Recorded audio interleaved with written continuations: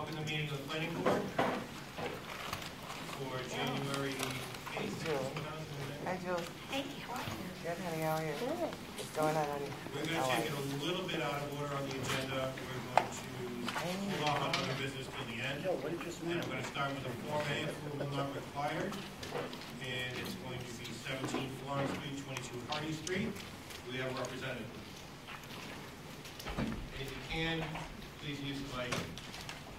And anybody who's at the microphone, please give us your name. Sure.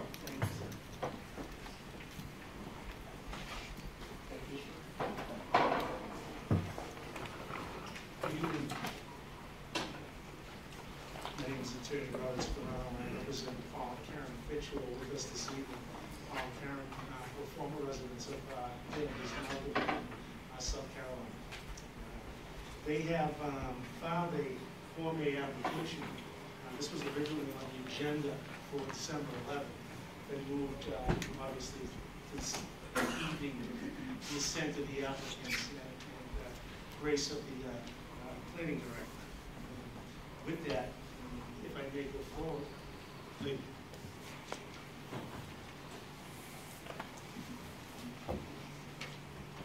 The plan submitted, I'm hoping everyone can hear me, I'm just gonna light this up a little bit, uh, proposes two lots, one with frontage on Florence Street, one with front frontage on Hardy Street. Both are public ways according to the town clerk's certificate uh, that's in the package. Um, Both have the required frontage uh, referenced on their deeds and shown on the plans. Both uh, of the roads have public access and traffic. Each of the roads provides access directly to the buildable portion uh, of the lot. And uh, as a demonstration of that, uh, this was previously approved by uh, DEP after a public hearing with um, town's conservation. Uh, And uh, the driveways are shown on that approved conservation plan um, that the, was approved by DEP under superseding order of conditions. Uh, But the plan clearly demonstrates access to the buildable portion of the lots as proposed um, on the DEP superseding order of conditions plan. As you may be aware, the only issues here tonight are, are the lots on public ways, and are these ways maintained by the town uh, of Danvers? And I can answer both of those in the affirmative, and have provided evidence to that effect in the package. Um, Each of the um, lots meets all the requirements of the current zoning code. Each of the streets meets the definitional requirement um, in your zoning bylaws. Each of the lots meet the definitional requirement in the zoning bylaws as well.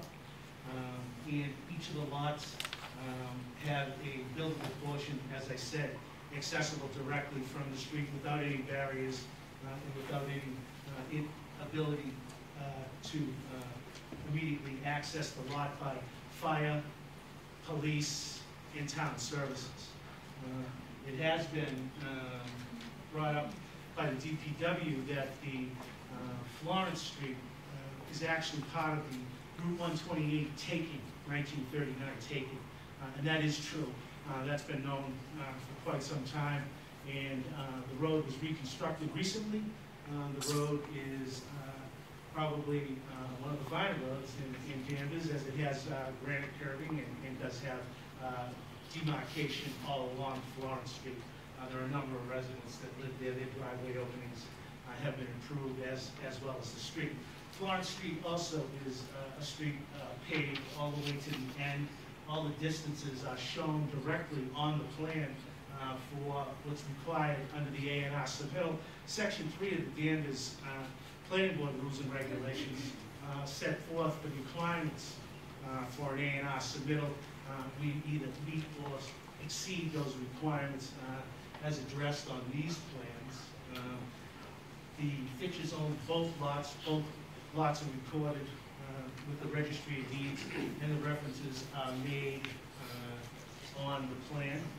We're seeking your determination tonight that this is exempt from subdivision control under eighty-one L, eighty-one P being the process, eighty-one L demonstrating that the plan meets those requirements, and we believe that the plan indicates that each lot shown on the A and R plan has the vital access required under eighty-one M. So we're asking you this evening to endorse the plan as a plan exempt from subdivision control. Uh, And thank you. If there's any questions, I'd be glad to entertain these. Uh, I'm gonna open this up to the board first. Um, There are a lot of people here, this has a bit of a history. Um, It is not a public hearing. It is an A and R. I'm gonna leave it up to the will of the board. If they wanna open it up to the public, there will be restraints if is. I'm gonna start down with Pat. Are you asking, I think first to open. Well, um, um, Question. about the, about the A and R first, and if you would like to open it up to the public. Okay. Um, I went down and looked at the area, and right, Florence Street is a very nice street now, has a nice noise barrier and everything. I, I know you were before us before, and I was trying to remember the issue when, before, I can't. I, right now, don't see any problem with including this as an A and R, it's two lots, and are you building two duplexes? Is that There the is, plan? there's currently two duplexes scheduled and approved by DEP. Uh, Of course, um, whether they both get built at the exact same size as shown on that plan, or whether the density is reduced, uh, is certainly up to the applicants, and they may be reducing density, density if that's, if that's your question. So basically, for the A and R, you're just moving the lot line. Correct, we're, we're adjusting the lot lines and, and eliminating an interior lot line.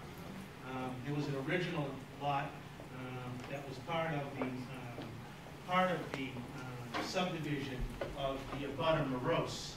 Uh, when his lot was created, they took a portion, um, of this lot, and now we're eliminating that lot's interior lot line and creating one dividing line between the two lots. The building inspector didn't seem to have an issue with it. I see the town engineer just wanted it noted that um, Florence Street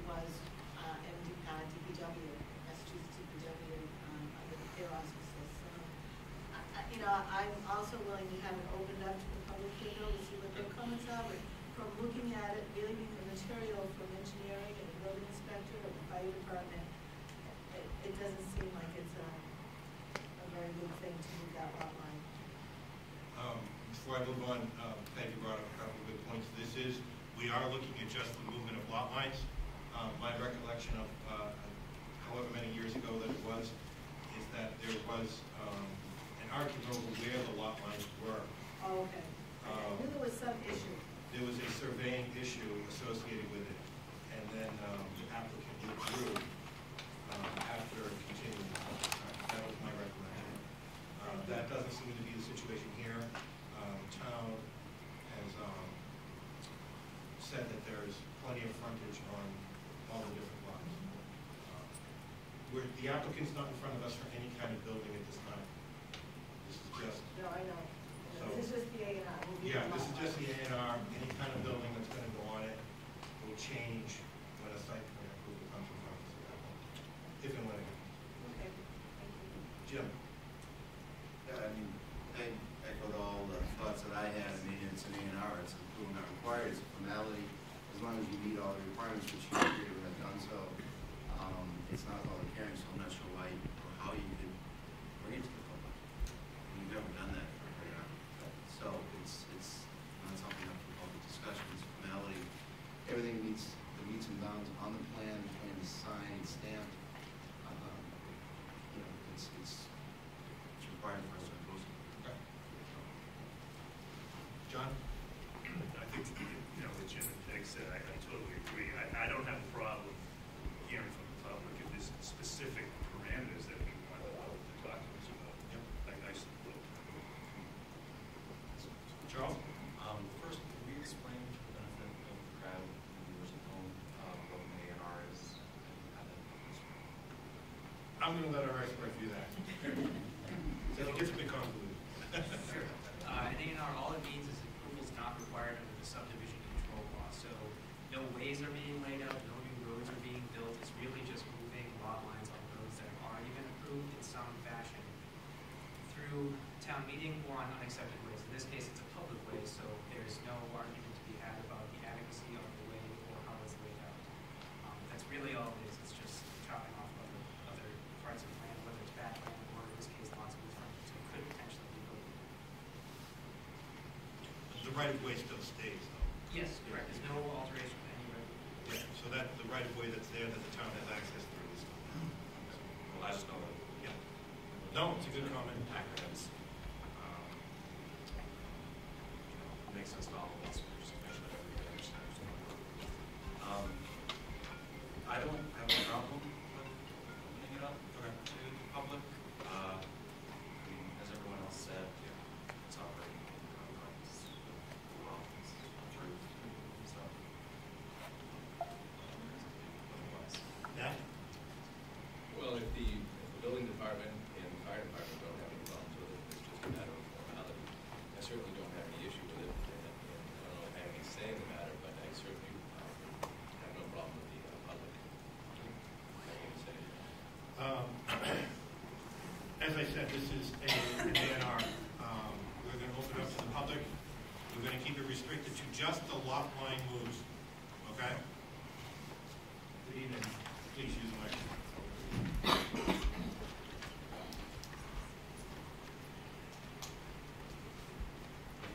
Thank you. Uh, My name is Mark Kornitsky. I represent the immediate abutter of the Moroses who are present. And um, I have a a memorandum. I didn't realize how large our board was. I'm gonna Um, defer, sure. I'm gonna defer to the chair. Everything has to be through the chair. I'm gonna defer to the chair. Everything comes through the chair. I wanted to give a courtesy to Mr. Scarano. I understand that this may address a bit more than the lot line issue, because I think there's an issue of uh, the frontage that should be addressed, the representation that there's adequate frontage. You need to talk I'm not sure the this mic. is, this is not something we can take We can't automatically. really accept the material.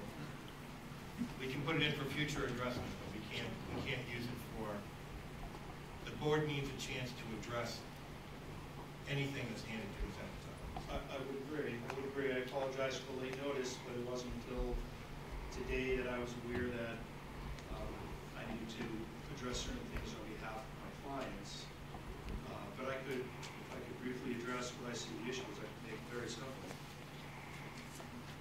Um, So quite simply, um, the case law requires that the lot front on a way that's built and maintained as a public way. So you have a representation that this, um, this A and R, this lot, the one that's on Hardy Street, is on a, a public way. Well, a portion of it is, twenty-eight point nine feet of it is. The rest of it is on a way that was, to be that's what this court had it in nineteen ninety-nine, when the earlier A and R was, of record, was approved. But the remainder after the end of the cul-de-sac was never built up. So this hundred and eighty-seven point nine three feet that continues is, um, is not frontage for purposes of, um, of this A and R. And I can, I can tell you the case is the case that was submitted to the, uh, town engineering department, for instance, the, uh, the Swin case, it says that.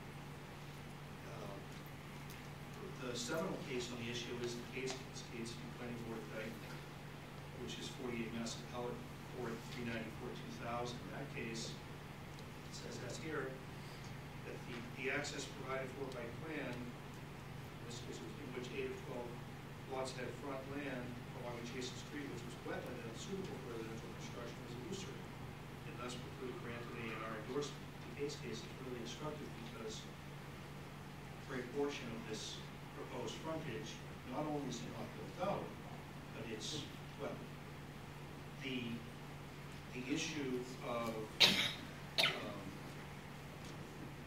the uh, illusory frontage has has been in, in, in many cases. So that you, you can't just have uh, a roadway that is not built, as here, that contains the wetlands. There's one case that had a guardrail that was there that couldn't access the water. So although an A and R is a ministerial act by this board, it is not without deliberation, without looking at what's in front of you, to determine whether or not you have um, frontage. Um, And the board clearly has the authority to determine, that the plan that's been filed, that's what was addressed in, in my memo that I'd like to file, is um, the issue that the plan does not clearly tell you that you have twenty-eight point nine feet of frontage. The case that was given to the engineering department, I suggested supports my client's position. That case, swing case, um, it talks about whether the lot that was unpaved, whether the road that was unpaved is suitable for frontage. We don't have that. We've got twenty-eight point nine feet. Um, So that's, that's essentially um, um, the issue. Uh, There are there are technical issues with the plan that was filed that are addressed in my memo.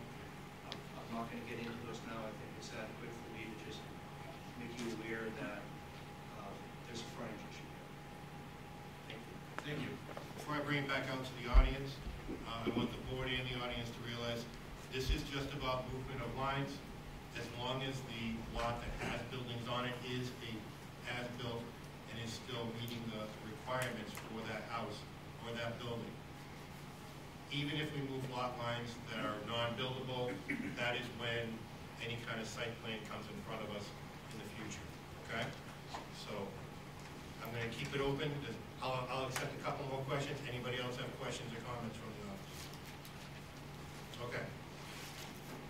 So, we bring it forward to the rest of the board. Oh, I'm sorry, I didn't see it Yeah, I just, I just, Come right up. In respect to moving lot lines, not about whether or not it's buildable or not.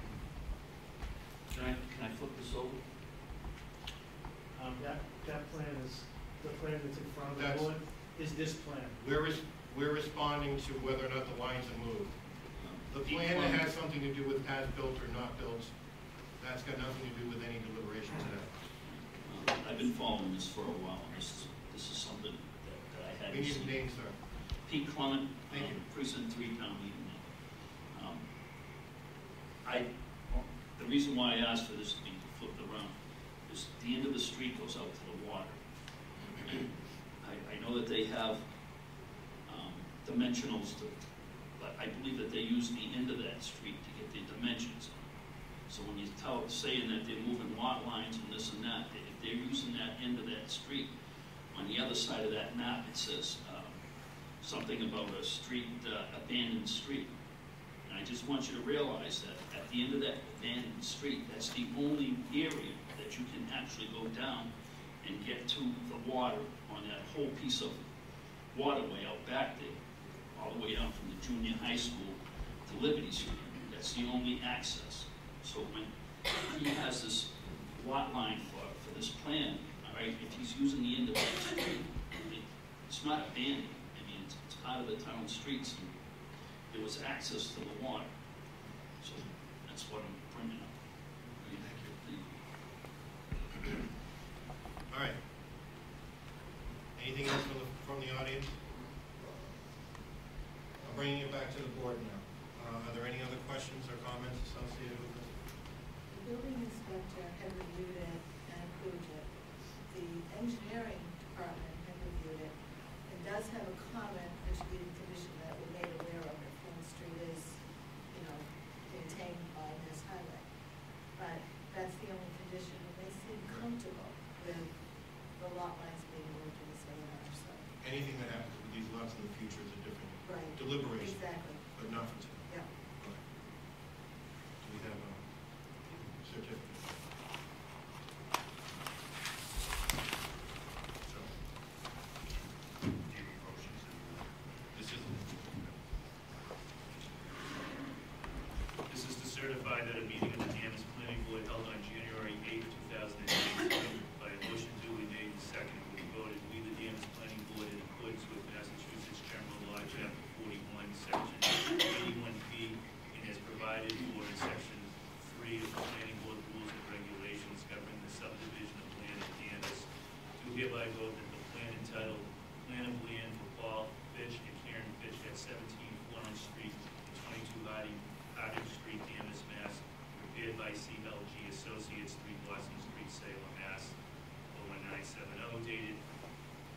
August twenty-first, two thousand and eighteen, revised through December seventh, two thousand and eighteen, submitted by Paul and Karen Fish, does not constitute a subdivision within the meaning of the subdivision control law, and therefore is entitled to endorsement as approved, not required. The motion, do I have a second? Second?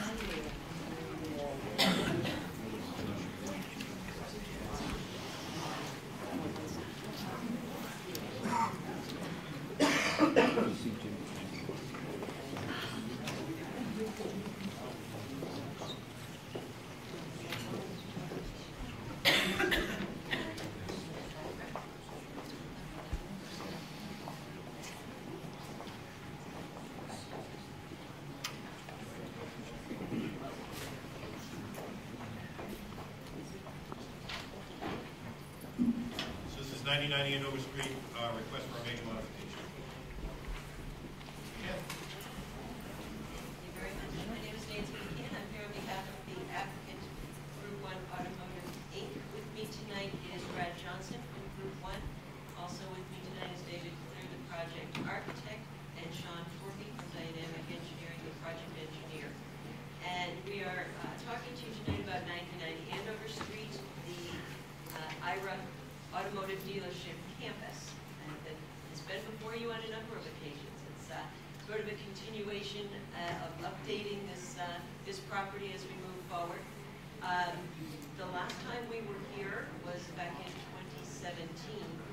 regard to the uh, renovation of what is now the new Lexus dealership located right here.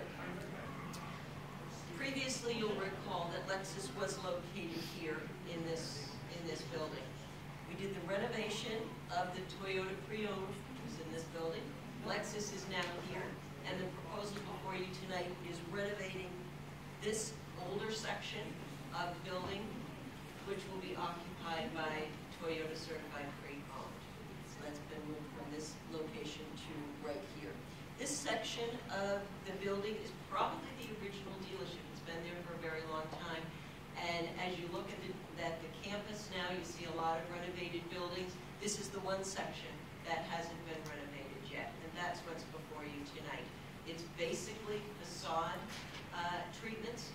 There is not any particular site plan type of changes being made to this, to the site with the exception of uh, some curb, interior curb cuts, cuts that Sean will talk to you about.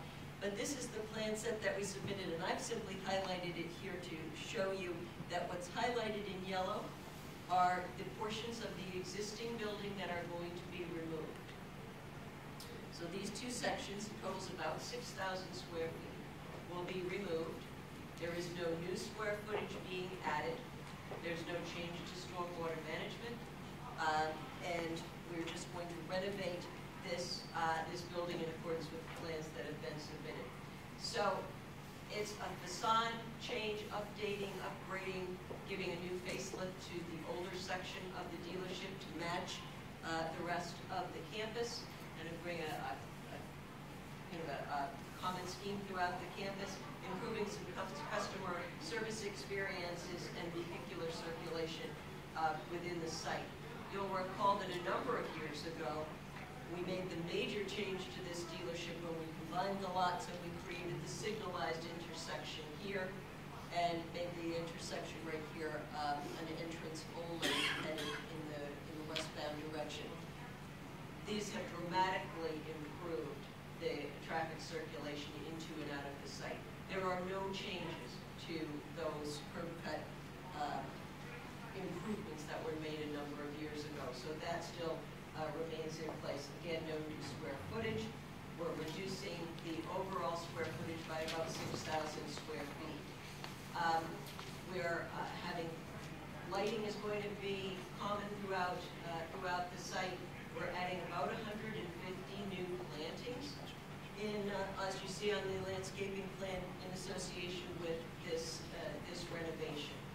Um, So again, we're really talking about facade improvements, landscaping improvements, and a reduction in the, uh, the building uh, square footage. No increase in new, in, in, of any impervious surface area. You do have department comments from the building inspector. Um, You have fire department comments, and he requested um, a fire lane be added, which we've done, and that was shown on the revised set of plans that you received. And the engineering department had some comments, those also have been incorporated into the new plan set, and uh, Sean will go over those with you, so we have no outstanding issues with the engineering department. So again, from a site plans uh, standpoint, there's not a lot of site, uh, site plan issues to be uh, addressed with this, but of course, it's considered a major modification because we're making some changes to, to the building. But primarily, it's facade and uh, some building removal and some internal circulation, which is being improved. So I think with that, I'll turn it over to Sean, and he can walk you through the plans. Sean working with Dynamic Engineering. Um, I was responsible for, for getting these plans together, and uh, just wanted to kind of highlight and repeat some of the things that were already said. So on this sheet, this is uh, sheet four of the plan set that you're familiar with. It shows um, the, you know, we call it the construction area, demolition area. So towards the back of the building, there's a section of building that's going to be removed, and it's just going to be replaced with, with asphalt pavement to assist with the operations for this area of the building. In front, in the pink, you'll see from where this dark line to where the pink line is, this is existing building. So what effectively is going to happen is we are going to take this area and we are going to regrade, remove the building, do landscaping, add some parking, help with the circulation of the site. The next board that I have illustrates the site plan sheet, but we just colored it, so it's a little bit, a little easier to see for the, for the improvements. Now, this coloring is just to, to make it look good, but the real improvement areas here are this darker shading.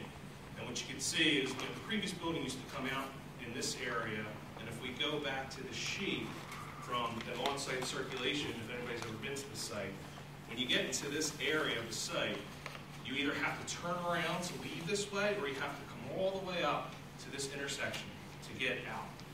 So what we're proposing to do as part of the renovation, not only upgrade and update the building, but also make it a little bit more intuitive for people that might not go here every day and kind of find themselves here. You can, you can get yourself out to the signalized intersection easily and not have to go back in this area where, you know, there's some operations and, and people doing, you know, what they need to do with the vehicles and service.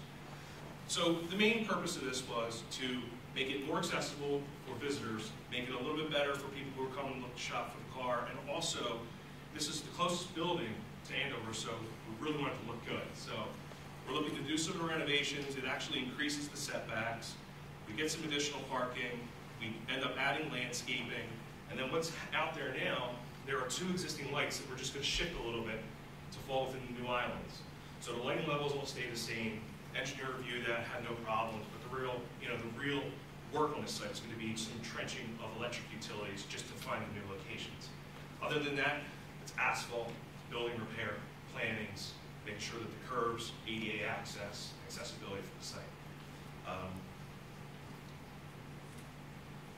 so yeah, I mean, again, you know, the real big issue or improvement that we see here is, you know, two-way circulation, one way in down here, and then you only you get you can get out get the signalized intersection through here. So now you're not forced to go all the way into the campus to get out if you're going to this building. And then, as was said earlier, just leave this up. As was said earlier, so um, comments back from the chief. We're adding uh, the fire lane here um, for his comment, and then the engineer just wanted to see how the light shift. Where's it going? Where's the existing conduit for light? and where's the new conduit, and just indicate that on the utility plan so there's a clear understanding of, of the new conduit that's needed. We handled and addressed that. There were some changes and some, some minor comments on some details. We addressed that. So, and, and as of the plan that you're looking at, he's satisfied we've met his requirements for the plan. And then the plans that we just kind of wanted to show was, in keeping with the other renovation and other improvements on site, you know, this is what the elevation is gonna look like, you know, kind of coming, this is southwest elevation, so this is how you're gonna see it, um, you know, from Andover, um, looking at the site. Do you have these right? All right, this is a major modification, I'm gonna bring it out to the board. John? I just wanted, there was three comments, I think you mentioned it, from engineering. We didn't get anything back from engineering saying that they, did you get something? I did not see it. You should have it, we did. Hopefully you did. Did we, okay, then I must have missed it, so. I didn't see any, John, I was like that. It is a, you're all set from Eric Richards. Okay, so it was the,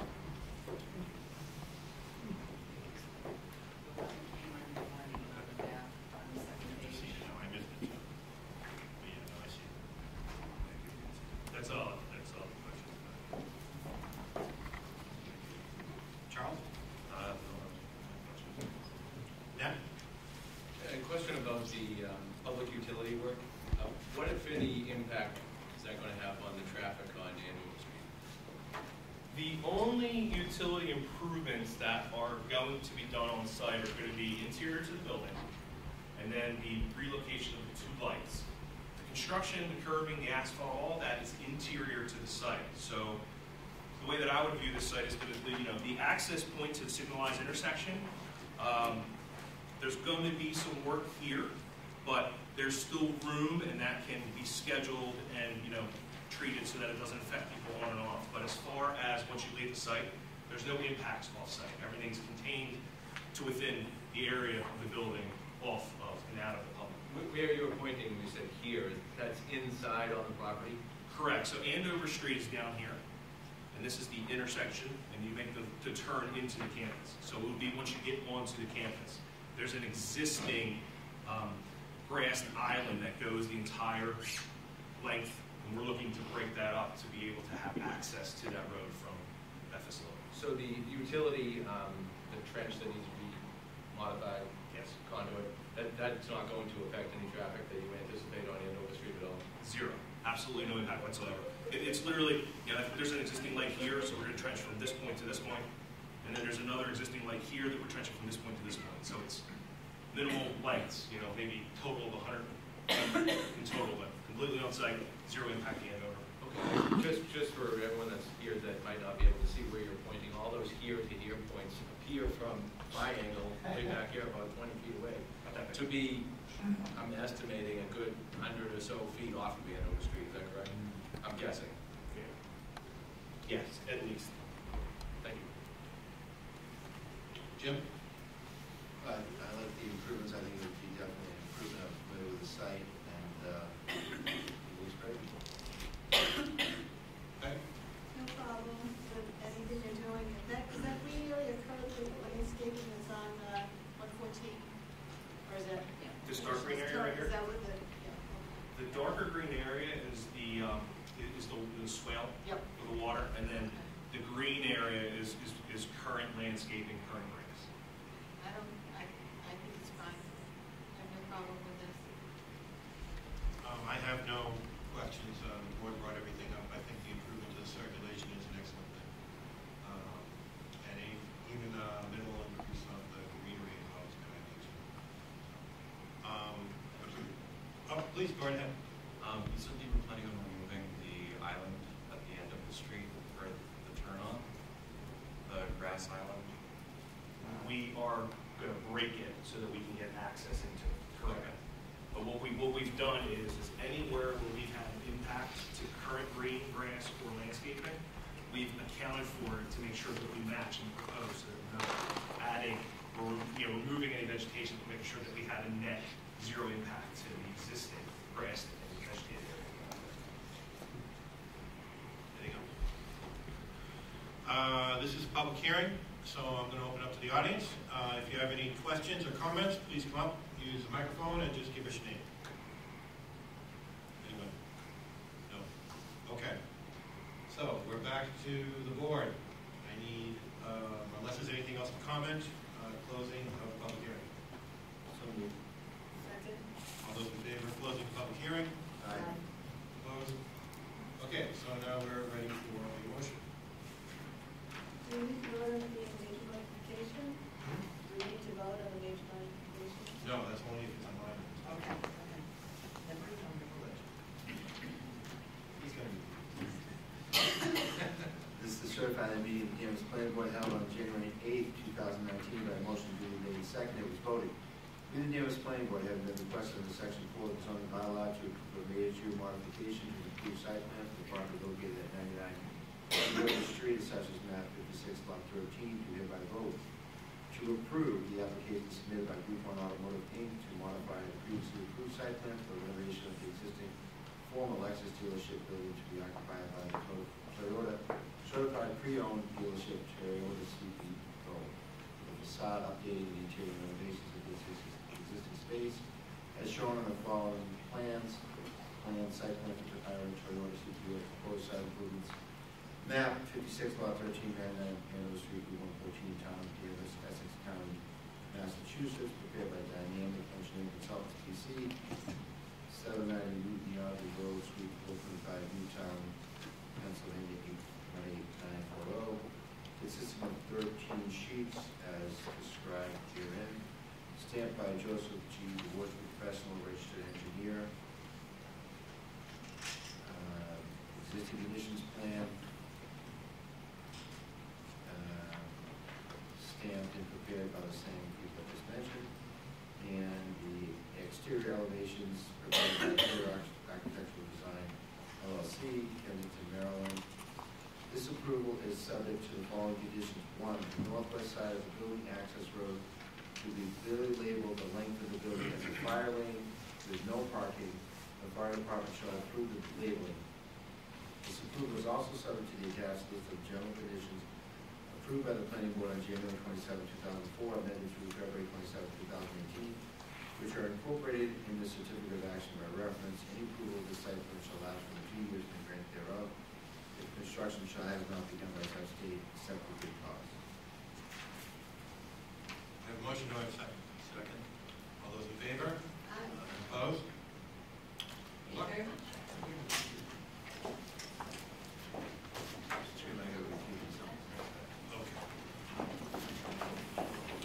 Okay. Next on the public hearings, we have Beaver Brook Wood, Beaver Brook Woods. It is a request for a sub, uh, cluster development by special permit.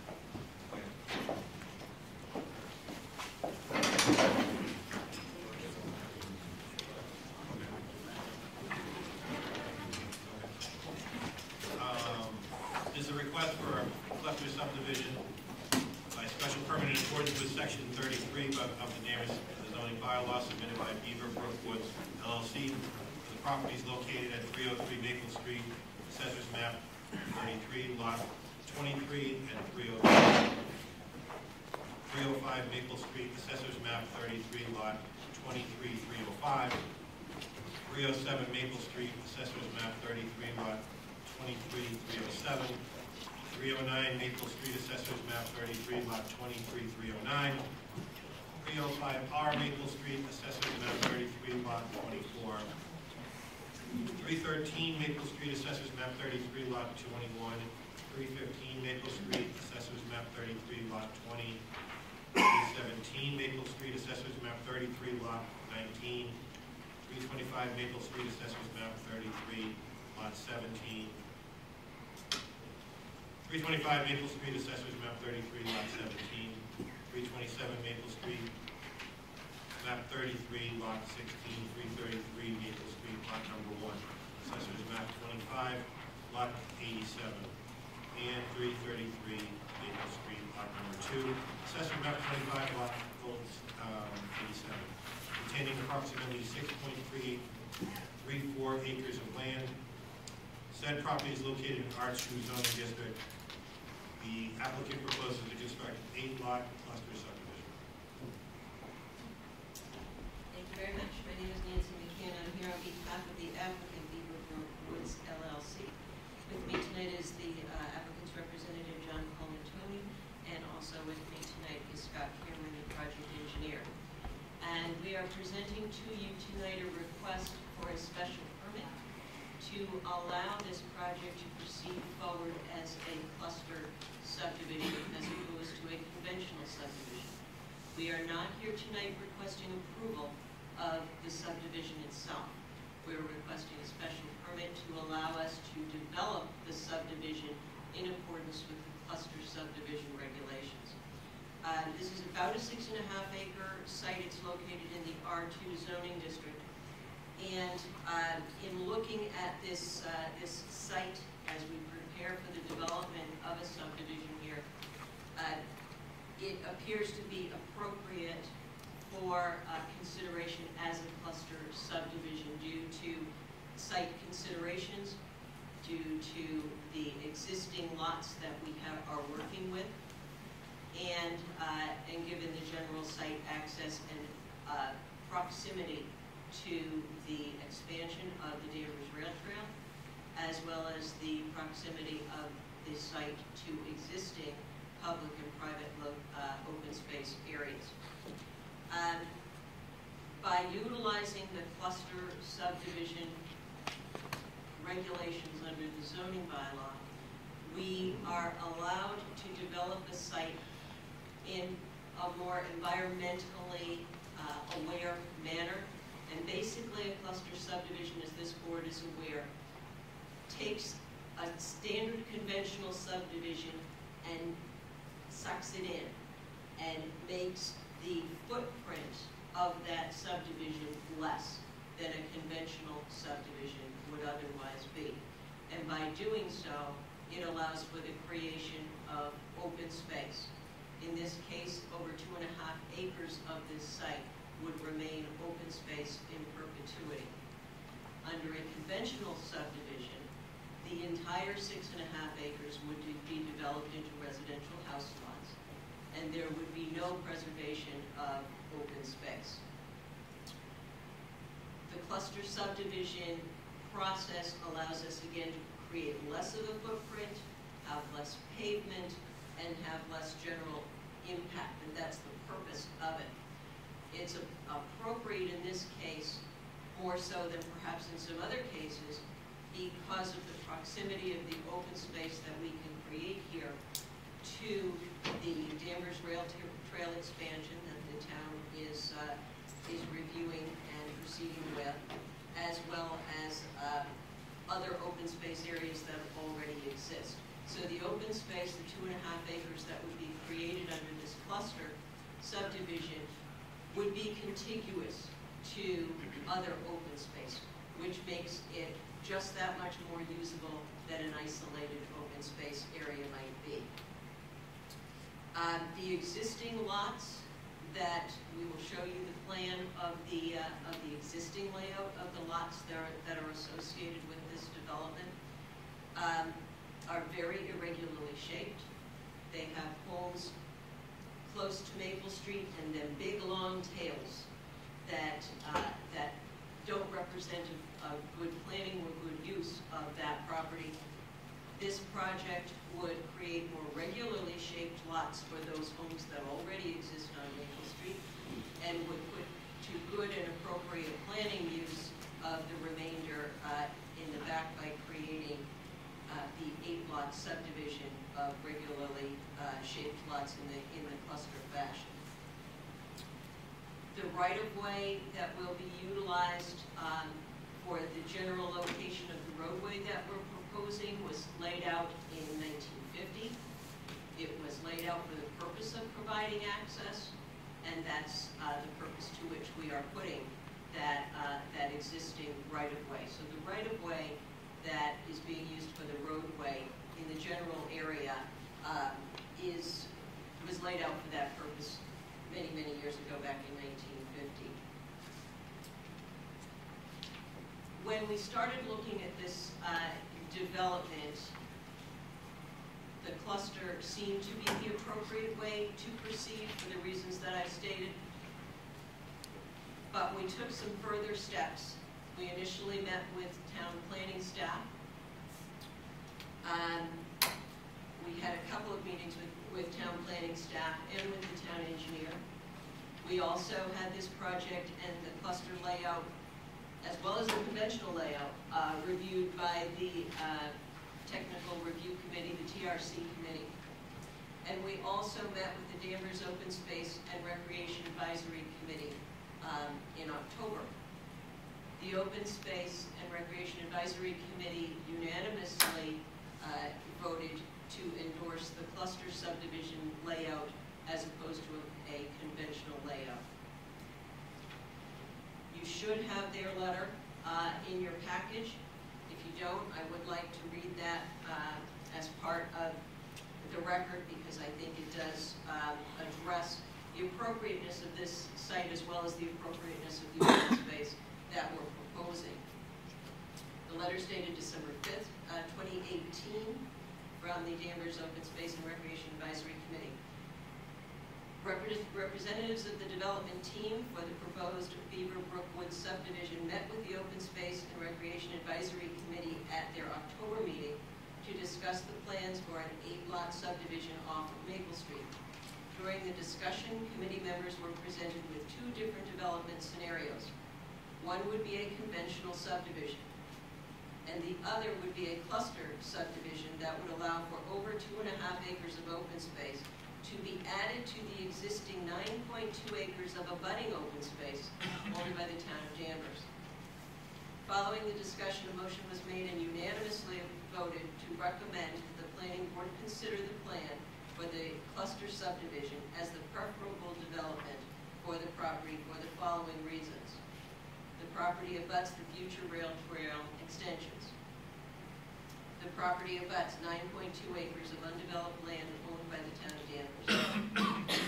The town's open space and recreation plan, as well as previous plans, encourages the acquisition of open space that is contiguous to existing open space owned or controlled by the town.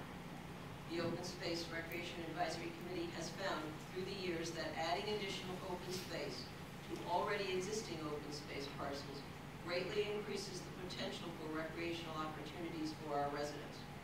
The committee understands that the planning board has many issues that need to be addressed with the development of this property, but we ask that you consider our recommendation that the project should go forward as a cluster subdivision.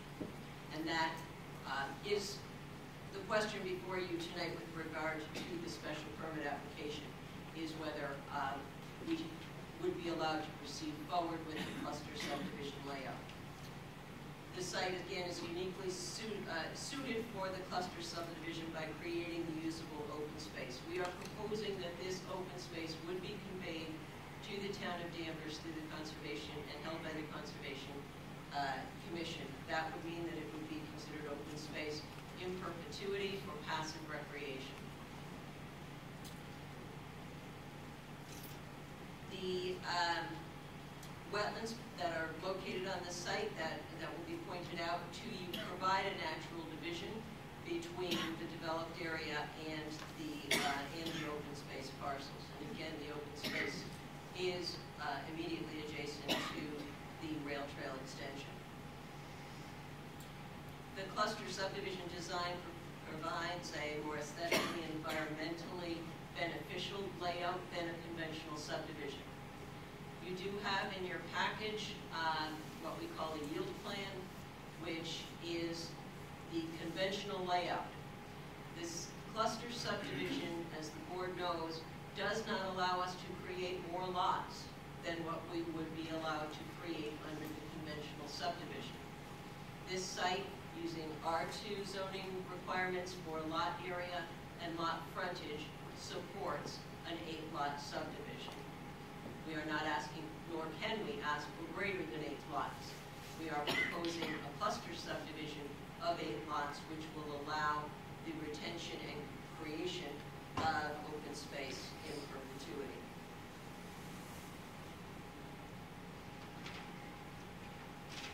The open space that we are proposing uh, meets or exceeds all of the requirements for the open space creation under section 33 of the zoning bylaw for the creation of a cluster subdivision.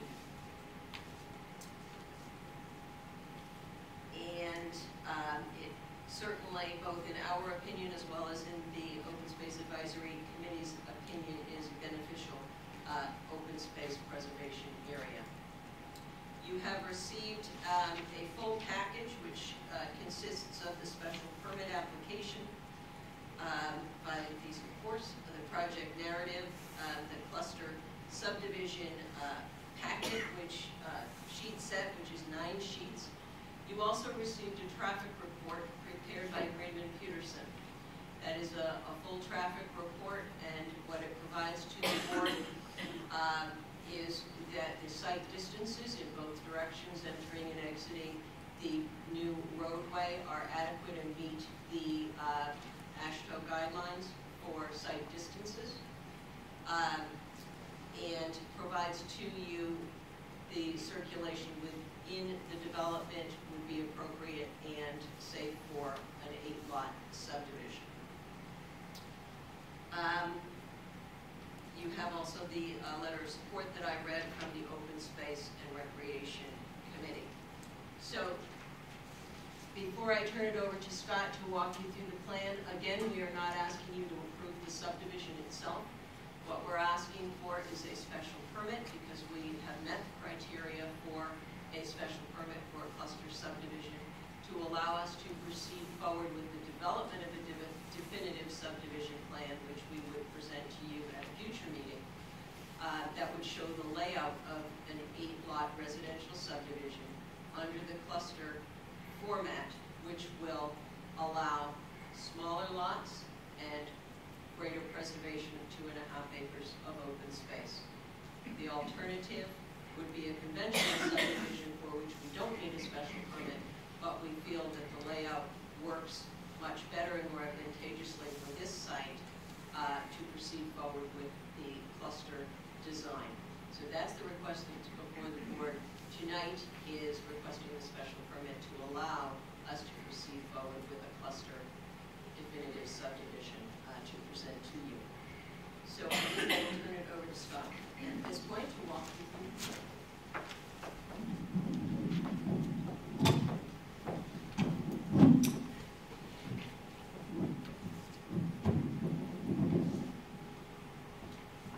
Good evening.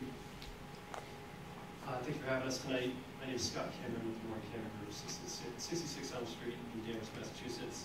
Um, What I hope to do, I'm going to walk you through uh, the existing conditions of the property, uh, give you a little bit of history on it as well, uh, which we found interesting, and then walk you through the uh, conventional plan and cluster plan. Um, So I'm going to, we're going to start with existing conditions. I'm going to trust that this can pick me up over here.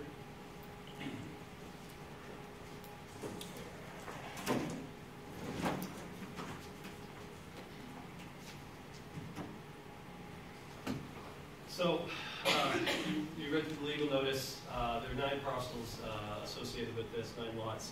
Uh, what I did is I took the existing conditions plan, I highlighted, uh, in blue, uh, was effectively the, the lots and then where they're divided. So, walking through them, uh, this is three oh five rear here.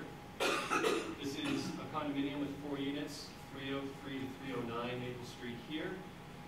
This is 305R. We actually were before you, uh, before the holiday with an A and R plan to separate the the land off the back. There's a distinct that's not part of this. You have 315, which extends back, 317 extends back. You have another uh, single residence here that is not part of this. Uh, And then you have a parcel that's owned by the town of Danvers here. So this, this strip is uh, not part of it. And skipping over that, 325, extending back, 327, this is a two-family, uh, extending back. And then you have, this is 333R, which is, has a little bit of frontage and extends back, and 333. Okay? Uh, This was another A and R that we were recently before you, uh, once over the summer, to split this into two, two pieces. Uh, Attorney McCann referenced a right-of-way. Right-of-way was created back in the 1950s. I highlighted that here in yellow. It's a 50-foot right-of-way, comes back, it takes a turn, extends all the way out here. Uh, lots enjoy access to this right-of-way, uh, just crossing over the town of Danvers piece, and this is what provides access uh, as a right-of-way or roadway uh, for these properties. Uh, On the property itself, topographically, uh, the frontage here on Maple Street, you see north kind of heading in this direction on the plan, so it's rotated a little bit. Uh, But starting on Maple Street, you have uh, a relatively level area where you have the single-family home in 333 and a driveway uh, that comes into the property. Uh, This continues down and parking drops off about elevation 66 to 54, about 12 feet gradually. And then it's relatively level following a wetland that is in this area. And it climbs back up to elevation 92 here in this area. So the elevation of the wetlands around 53, so you have about 40 feet of grade change across the property. Uh, Star, can I? Yep. Just to get my bearings, that crossroad at the bottom, uh, no, no, the, That's Bayberry Road right Bay here. Thank you. Yep. Okay, so this is on, this is the curve here on Maple Street, that's Bayberry going up. Maple Street has a few different curves, I had. Yeah, yeah, this is the one you have. Just wanted to uh, make sure. Nick's Giovanni's is right Yeah. here, uh, Forest Street, heading up to Endicott is just off the plan here. Thank you. Okay, and there's also a locus map on here, which gives you a little more expanded view of it. Um, so train of thought. Uh, I was, uh, talking about, there is a uh, FEMA floodplain, the elevation is generally coincident with the wetland line. Uh, just before the holiday, we did walk the wetland line, uh, uh, Schaefer, who's the staff liaison of the Conservation Commission, so she can take a look at that. Um, it, it's a little deceiving, uh, if you go out here and see it, uh, we flag this area, but you can continue walking another twenty to thirty feet before you actually hit something that's wet. It's just that the groundwater is very shallow and there's some plants and whatnot in that area. Uh, but what is perceived as actual upland is, is further in. There is a standing water, uh, kind of a pond here, and then off in this corner is Beaver Brook. And Beaver Brook kind of comes off-site, goes across the rail trail easement, which is running here, goes through Fox Run open space, and goes back under the easement, and then continues to head out towards the east. So it kind of winds through the site. Uh, we did soil testing on site, uh, we just kind of canvassed throughout the property. We found everything to be sandy gravel, very well drained, good soil. Uh, Relatively, uh, free of any fine sediments, so well drained soil. Uh, now, I want to give you a little bit of history on this, and I want to step back about 112 years to 1906, and can give you a, a taste of uh, why we think these lots were set up in this irregular fashion. Uh, we, of course, when I initially saw this, thought, oh, well, they wanted to give everybody access to the railroad, so they gave all these long strips of land to people. But that wasn't actually the case. We found uh, back in 1906 an old subdivision plan. And If I can hold them kind of side to side, you can generally see the shape. You can see Beaver Brook here in the corner, Beaver Brook in the corner. This is the railroad, Boston Maine Railroad, which is here, which is now by the town of Danvers. You can see kind of this leading edge of the property here, which is here. So this was actually a subdivision that was done in 1906 with 50-foot right-of-ways that came in, actually right here, went up and split and ran through this way, and then came back and ran through this way. And generally, the same alignment exists, and they had split these into tiny parcels, about 5,000 square feet each. You can see the alignment, they kind of go from Maple Street here, they kind of go back towards road. This is all open, um, but what they likely did is they sold off pieces, and they kind of gave off these strips as they went down the street. There could have been some incentive to get back to railroad, but we, we believe that the configuration here as you go through time uh, kind of started with this plan. So it's always been kind of a roadway and a subdivision plan for this area. Um, I will note too that this plan from 1906 says meadow. Uh, we believe, uh, looking at historic USGS maps, uh, as recent as the 1940s, uh, this area was all cleared. There would have been no trees here, very few trees, probably agricultural or farmland. But the USGS maps dating back to the 40s show this is all open. So now, now you look at it, there's trees there, but not too long ago in the in the past, it was a different story. So it's a little bit of history on the property. Uh, I'm going to speak to these color plans for the development proposal, and I want to start with the conventional. This plan here. So, uh, the board has seen a few subdivisions over the last uh, few years. Uh, The standard for eight lots is you need a 50-foot right-of-way coming into the property. Uh, So what we've done is we've configured uh, a right-of-way, generally following the same alignment as that 50-foot easement that's there now. Instead of that, that turn, we put in a curve, meeting the subdivision standards. We come across the town parcel right in the existing right-of-way location, and then start here and turn up. So This is a 50-foot right-of-way, 24 feet of pavement, sidewalk on the side. You have the cul-de-sac here, a small island, landscape island here, and your, your turnaround. And then this would enjoy eight lots going around the subdivision, and such with their frontage on the new road. I highlighted in green, which the, the lots that are part of, uh, the six and a half plus minus eight acres that Attorney McCann referenced in her presentation. Uh, of that, about 0.9 acres encompasses, or in this case, more than that encompasses the road. But the development piece is about six and a half acres. So that's the green and the gray, the dark gray of the road. That is what we're talking about. The gray areas, these are the, the house lots, uh, I'll call them the frontage lots on Maple Street. And what we are proposing to do is we're effectively ANR-ing the rear land off of all these lots. So the houses remain, and we're taking these very irregular, long lots, and we're making them more regular. In some cases, fully complying with the, the lot shape factor, but in no case making them any worse. So everything we get more regular shape, we bring the bulk of the, the land back towards the street. Uh, some are still a little irregular, but again, much better than what they were, and we're squaring those off. So the gray represents the house lots, which we're not really considering part of this. I did highlight this area in green here because we are anticipating a drainage easement for some stormwater management. It's the natural low spot. And I highlighted this piece here. This is all wetland, uh, but it's, it's kind of cut off from the rest of this, but this would be private, probably conveyed with uh, one of one of the lots in the subdivision, uh, if it were conventional. The light green uh, here is the of Danvers piece, and then that's the rail trail, the linear railway there. And this is the Fox Run subdivision open space parcel here. I'll, I'll have some more information on that in a, in a, moment. Uh, and also, I mean, I'm not going to give you a lot of statistics on this. I have a comparison. I'll walk you through some numbers between the two. What we're proposing tonight is a cluster. So, uh, really going right back to the intent of the whole bylaw, uh, the cluster bylaw is there to promote creative design, preserve open space, uh, allow your board some flexibility and uh, discretion on, on doing so. So reducing roadway design standards and not, not just working with reducing the lot size, but taking that overall development footprint and scaling it back.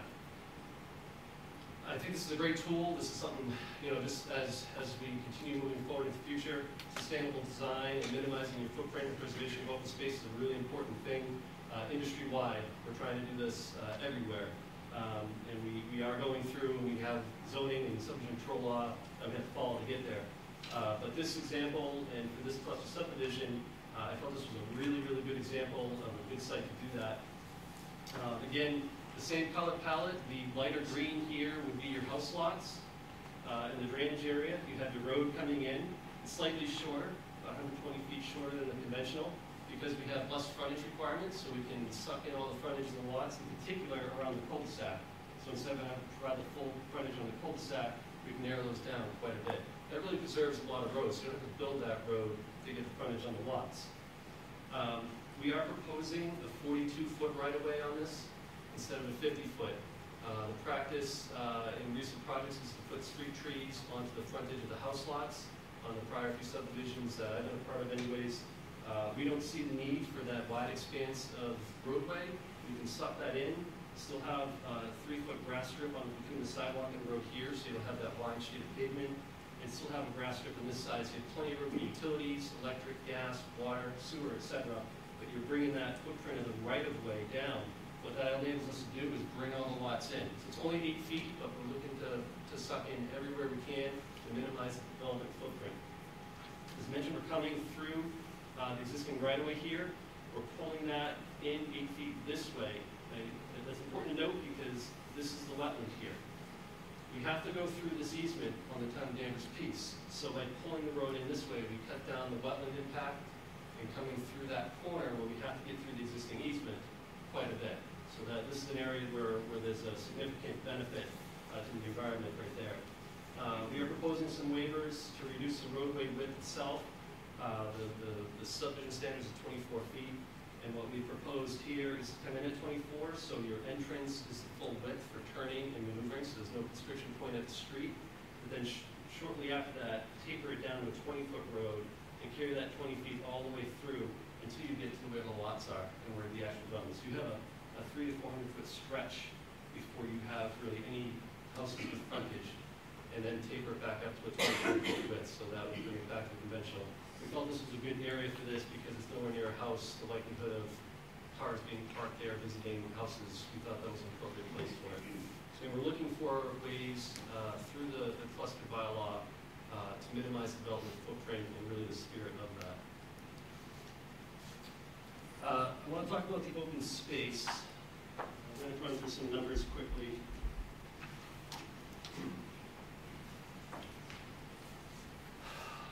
So what I did is I, I brought kind of a, I zoomed out and I took an aerial kind of flyover photo of the neighborhood. I I want to emphasize more the open space. And this is just uh, a 2014, I believe, uh, aerial uh, satellite image of the, of the surrounding area. You can see Maple Street here, you the, you can see the linear rail trail here uh, in the green. Uh, You can see on this, this is the Fox Run parcel here. You can see the proposed open space for the development here and the existing town of Danvers piece here. So by doing the cluster, you're making all this land here contiguous with the rail trail and Fox Hill. Then off on the other side, you have a parcel here owned by the town of Danvers, uh, for tax taking, and then you have a a greenleaf open space parcel here. So you have this really wide expanse of open space uh, that this is all contiguous to. And that's why we feel this, this really makes sense to fit that in. Um, Scott? Yep. Is that the St. John's property? uh, St. John's owns this land here that goes So back. what's, what's that development? This was, uh, it was a Santa, it says it is, Oh, right to the right. this, this, this here? Oh, I'm not sure if it's College College. Pond? College Pond. College Pond, okay. Um, and then that's Fox Run here, so you can see Fox Run kind of came in, and put the open space here. Uh, interesting, you can see the, the proportions, they're about the same size. So, uh, Fox, Fox Hill, uh, that, that piece is, uh, two point four five acres, and we're proposing two point eight four acres. And of the, about five point six acres of actual development, so excluding the road, the actual footprint here, we actually are proposing more open space than what we would for the house lots. So it's greater than fifty percent of the land remaining after the roadway for help for open space. Um, I'm gonna give you some comparisons, a few of the, just the statistics between the cluster and the conventional. Um, Yeah, I, I can, I can I have copies if I can approach and pass these out, if I can follow along.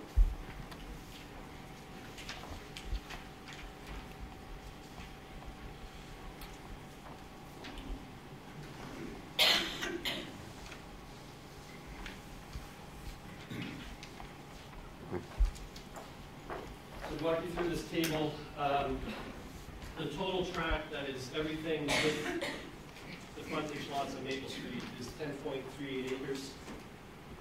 So that's everything that's in color here, the gray, the dark green, the light green, and the road. Uh, The development lots between the conventional and the cluster, so this is what would be privately controlled lot areas. The cluster would have two point six three acres, and the conventional ends up with five point two nine acres. So that's private land, that's just for house lots. So uh, significant difference between the two as far as private ownership. And that's because the two point eight four acres, which is the other half of that, becomes open space where none of that is on the conventional. Uh, the total road footprint, uh, through the reduction in the width, and also we're proposing reduction in the cul-de-sac diameter here. Not the turnaround radius, that still works, the Danvers fire truck and meets that, but the actual right-of-way line, we've been bringing everything in, and we just took the lots and brought them in. Um, the footprint of the road goes from one point oh nine acres down to 0.88 to one point two, it's about a twenty-four percent decrease in footprint area for the road. And, um, just identified the, the frontage lots, the gray here make up about four acres of land that's remaining.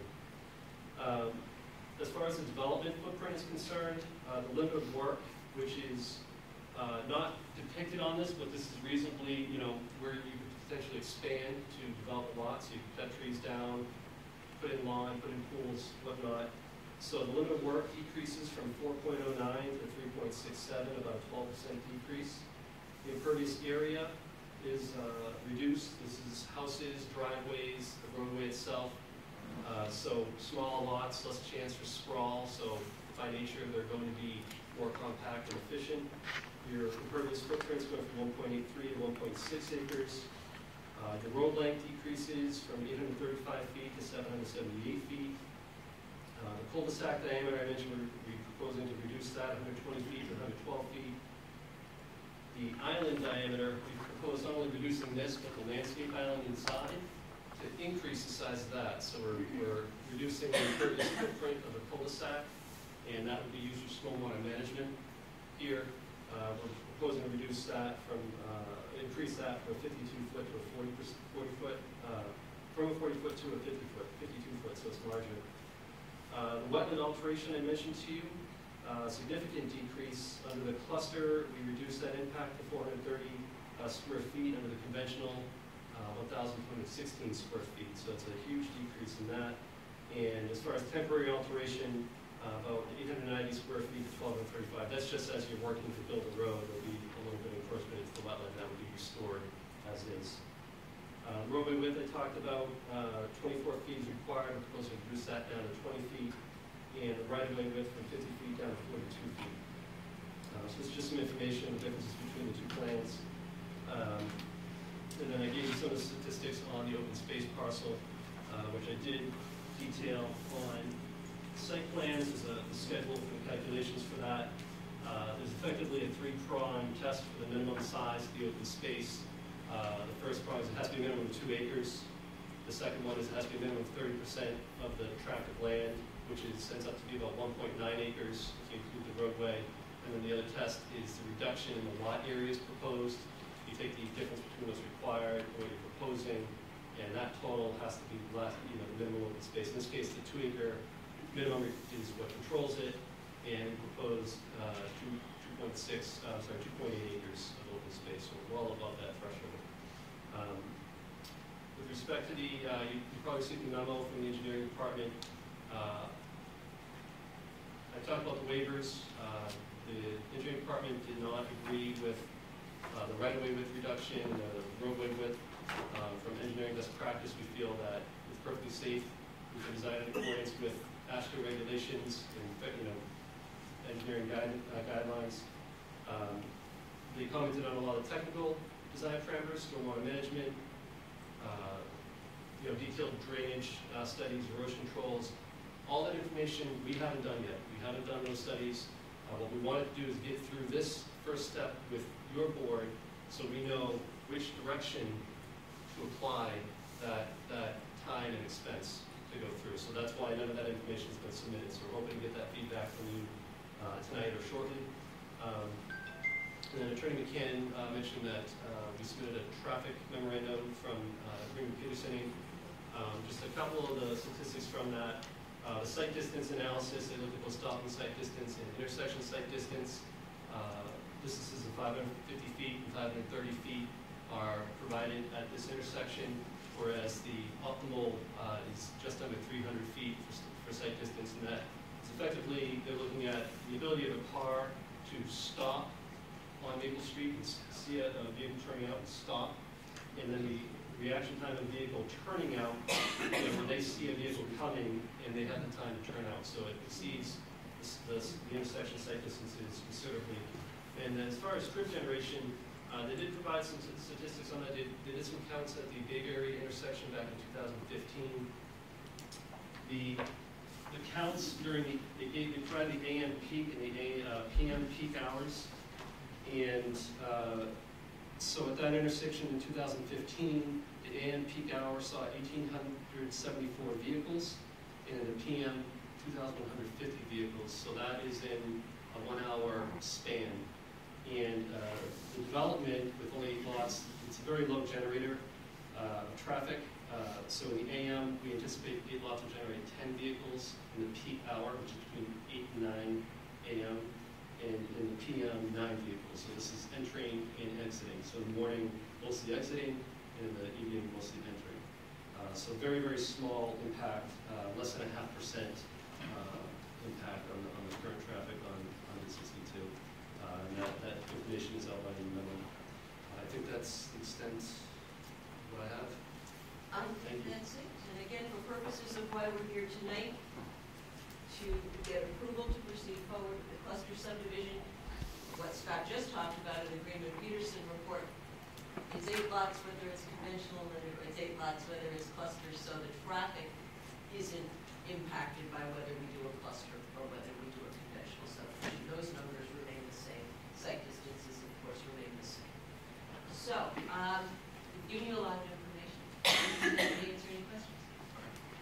Uh, um, Before I put it out to the board, uh, I just want to clarify, because that we've had one board member uh, recuse himself, it has changed a little bit on the board in terms of voting. Um, so, in a special permit, uh, Nat, you will have voting power in this particular situation uh, where we had someone recuse himself. Uh, the alternate has a voting power in special permits only. Uh, we are voting only on the special permit as site plan, uh, they will have to come in front of the board for the site plan. After that, uh, I have one question uh, as a procedural.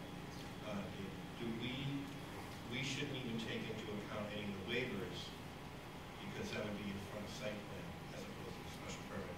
Keep it in the back of our heads, maybe on our decision whether or not we accept a special permit individually. Uh, that's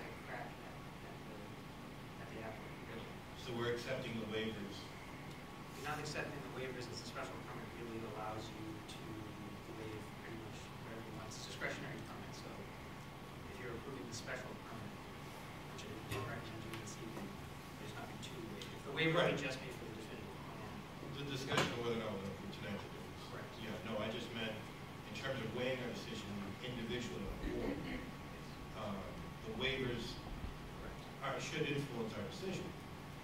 But at the same time, when the site plan comes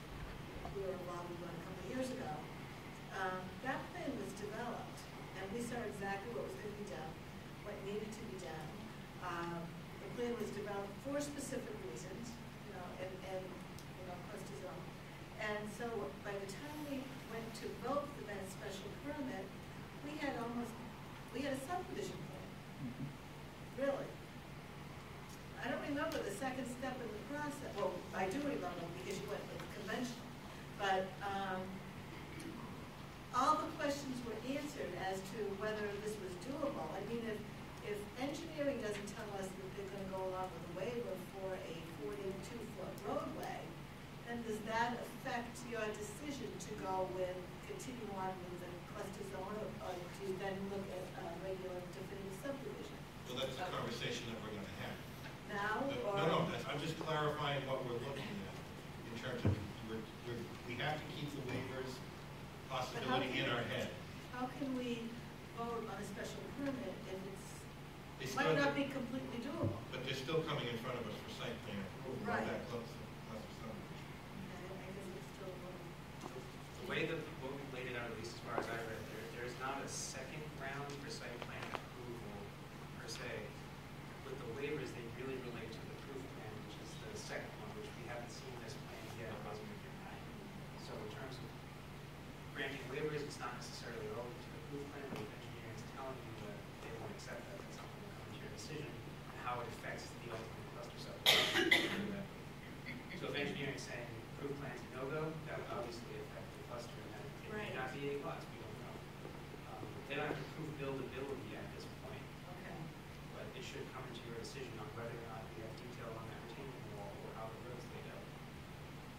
decision tonight, no?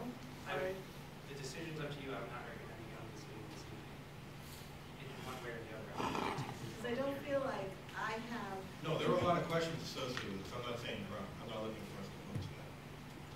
Unless the board ends up that way. But I'm just trying to clarify what we're voting on. Well, we have two members who haven't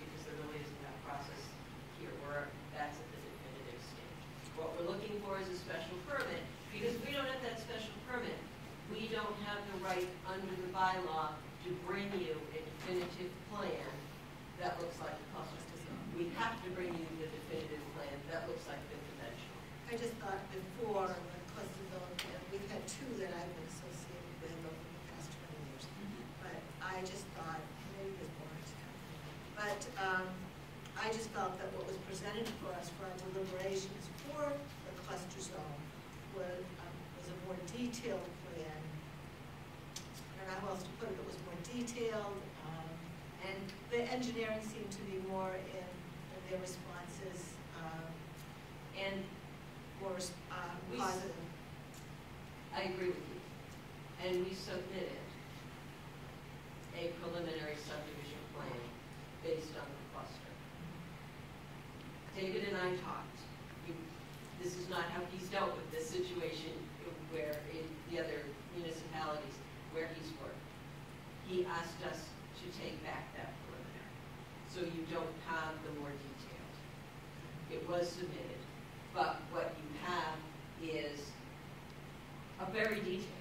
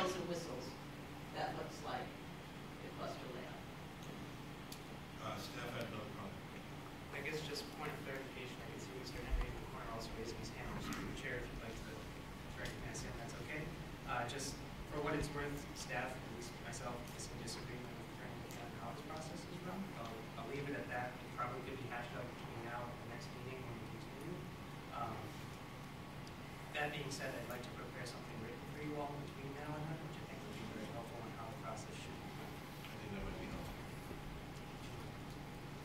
Go ahead, Aaron. Um, Just point of clarification, clarification, you're part of staff, not, uh, audience member.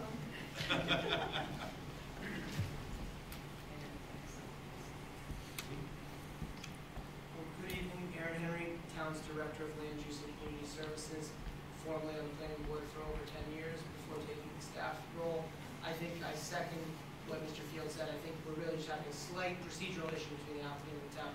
Um, but I think suffice it to say for tonight, it would be helpful to get some indication from the planning board whether or not the cluster is preferable. Obviously, there are, uh, several questions or more information that might be helpful to make that decision, but I think it would be beneficial to all to have some sense of whether or not a conventional or a cluster, um, should go forward, and then the applicant and staff can work out some of those procedural issues in the coming weeks, um, as we figure out, um, what information they need to make a decision, again, give some indications that the road may fit, may not jive with engineering, so that may alter their decision-making process, but I really want to make sure that we get any substantive comments, um, on the direction of these two plans, to, to make sure that we can make the most of it.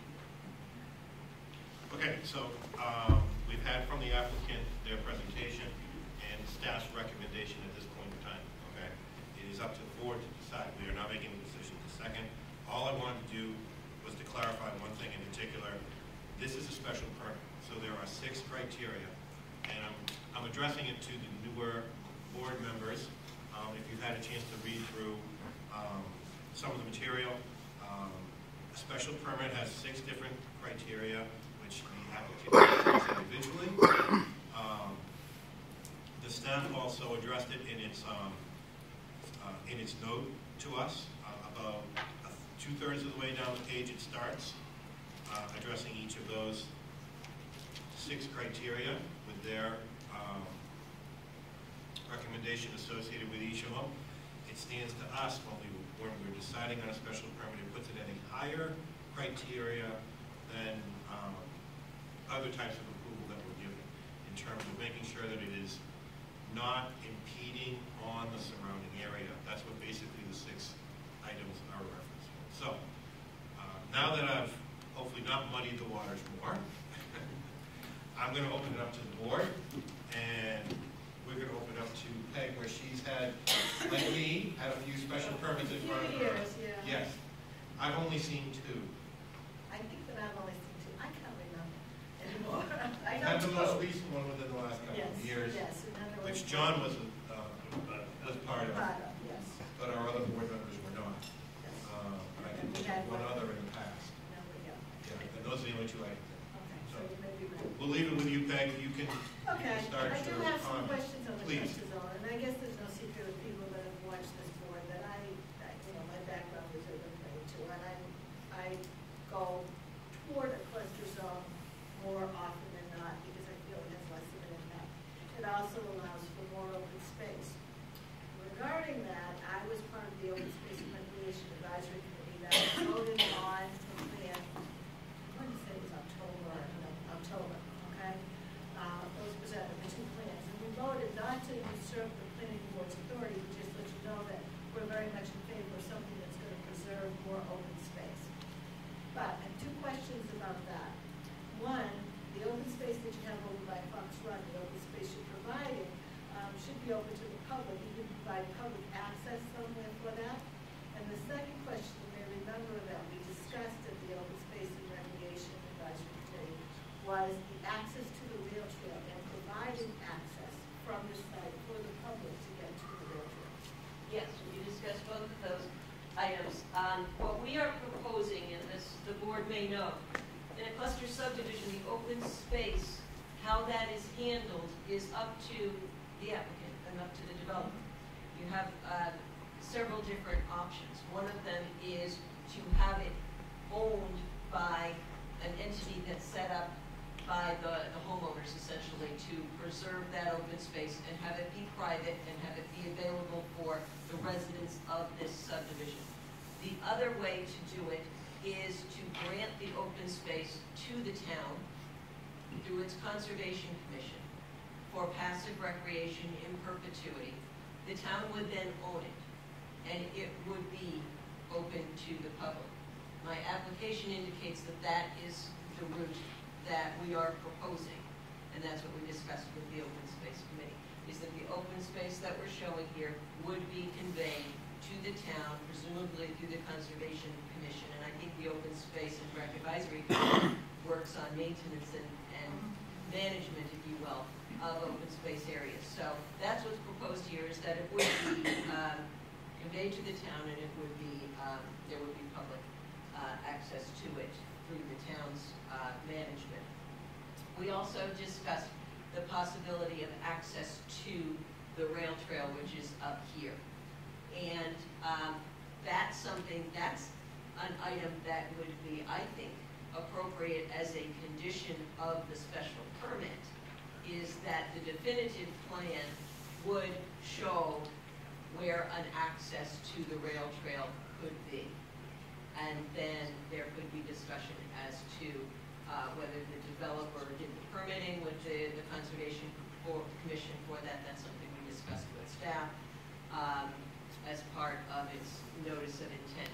But yes, that is a possibility. That's something that we, uh, we believe will be part of this ultimate definitive plan, would be act, showing access to, um, to the rail trail. And I believe Scott, when he met with the Conservation Commission agent, sort of scoped out an area where that would be appropriate with very minimal impact on the wetlands. Would there be access to the town-owned land that you're ceding to the town, land that's going to the town?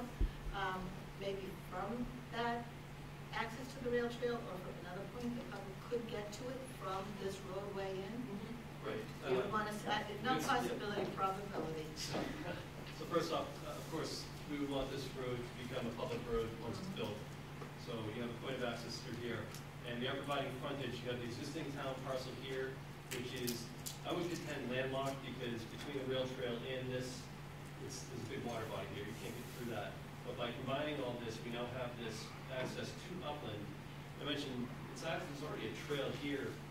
Um, There's a a clearing and a path that comes all the way along here, out to a point here, and then it actually goes into the Foxford property, and it does also start to switch back and come back this way. Um, they're old farm roads, they're, for whatever purpose they were built, they're, they're still there today. Uh, and as mentioned too, that it's a little deceiving, the actual walkable area is well beyond this wetland line, you kind of have to see it to understand that. Um, jurisdictionally, under the state statute, we have to call that wetland, but it's, it's dry, uh, you, you can walk it, um, there's really no issues getting through there. Uh, But we did provide that access, so we come in here, uh, you can get through this area back out, and, uh, crossing over Beaver Brook is probably not feasible, uh, it would just be extensive.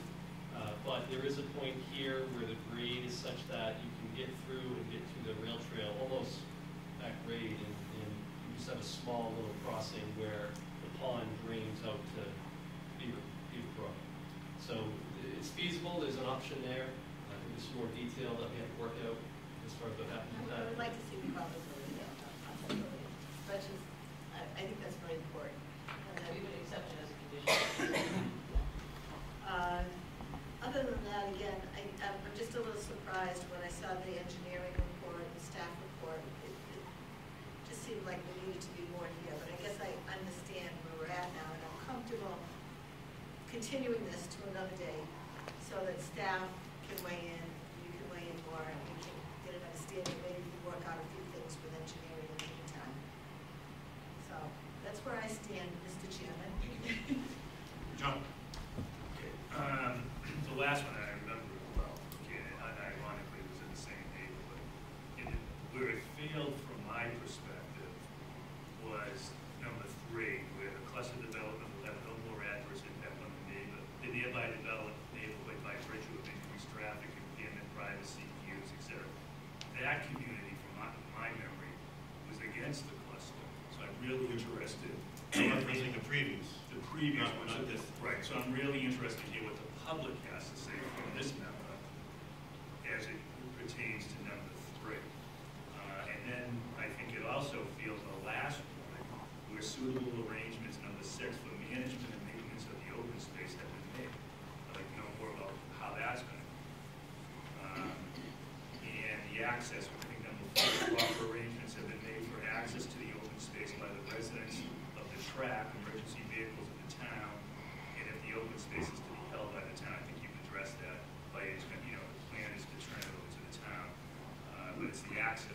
question that I'd like to have a little bit more information. So, but the neighborhood's involvement of their input, you know, it's a little bit different than Whipple Hill, but I, I- I would like to understand where the neighborhood stands on this. Charles? Anything to add?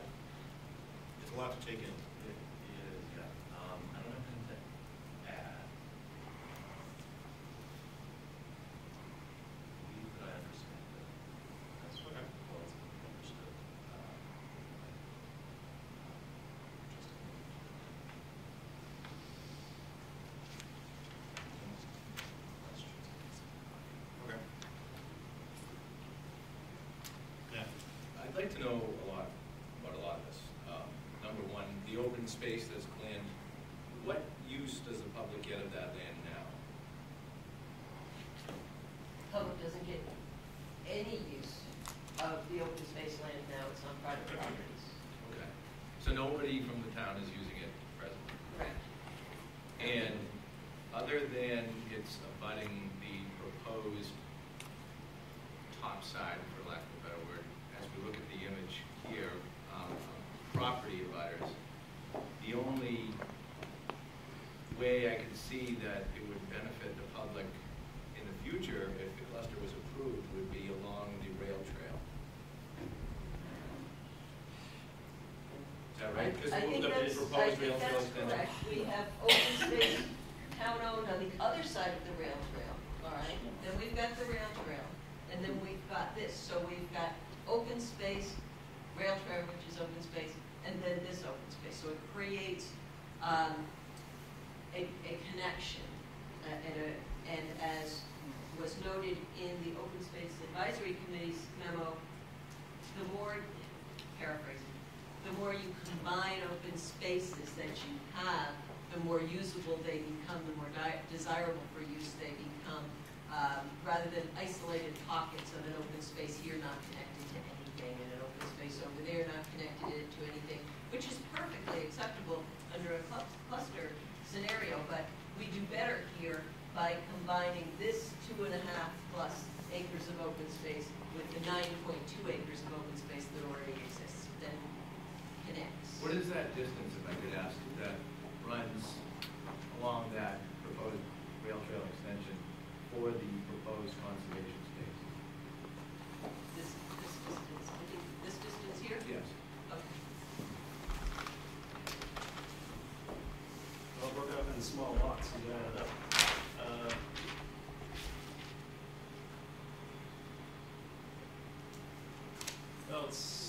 650 feet.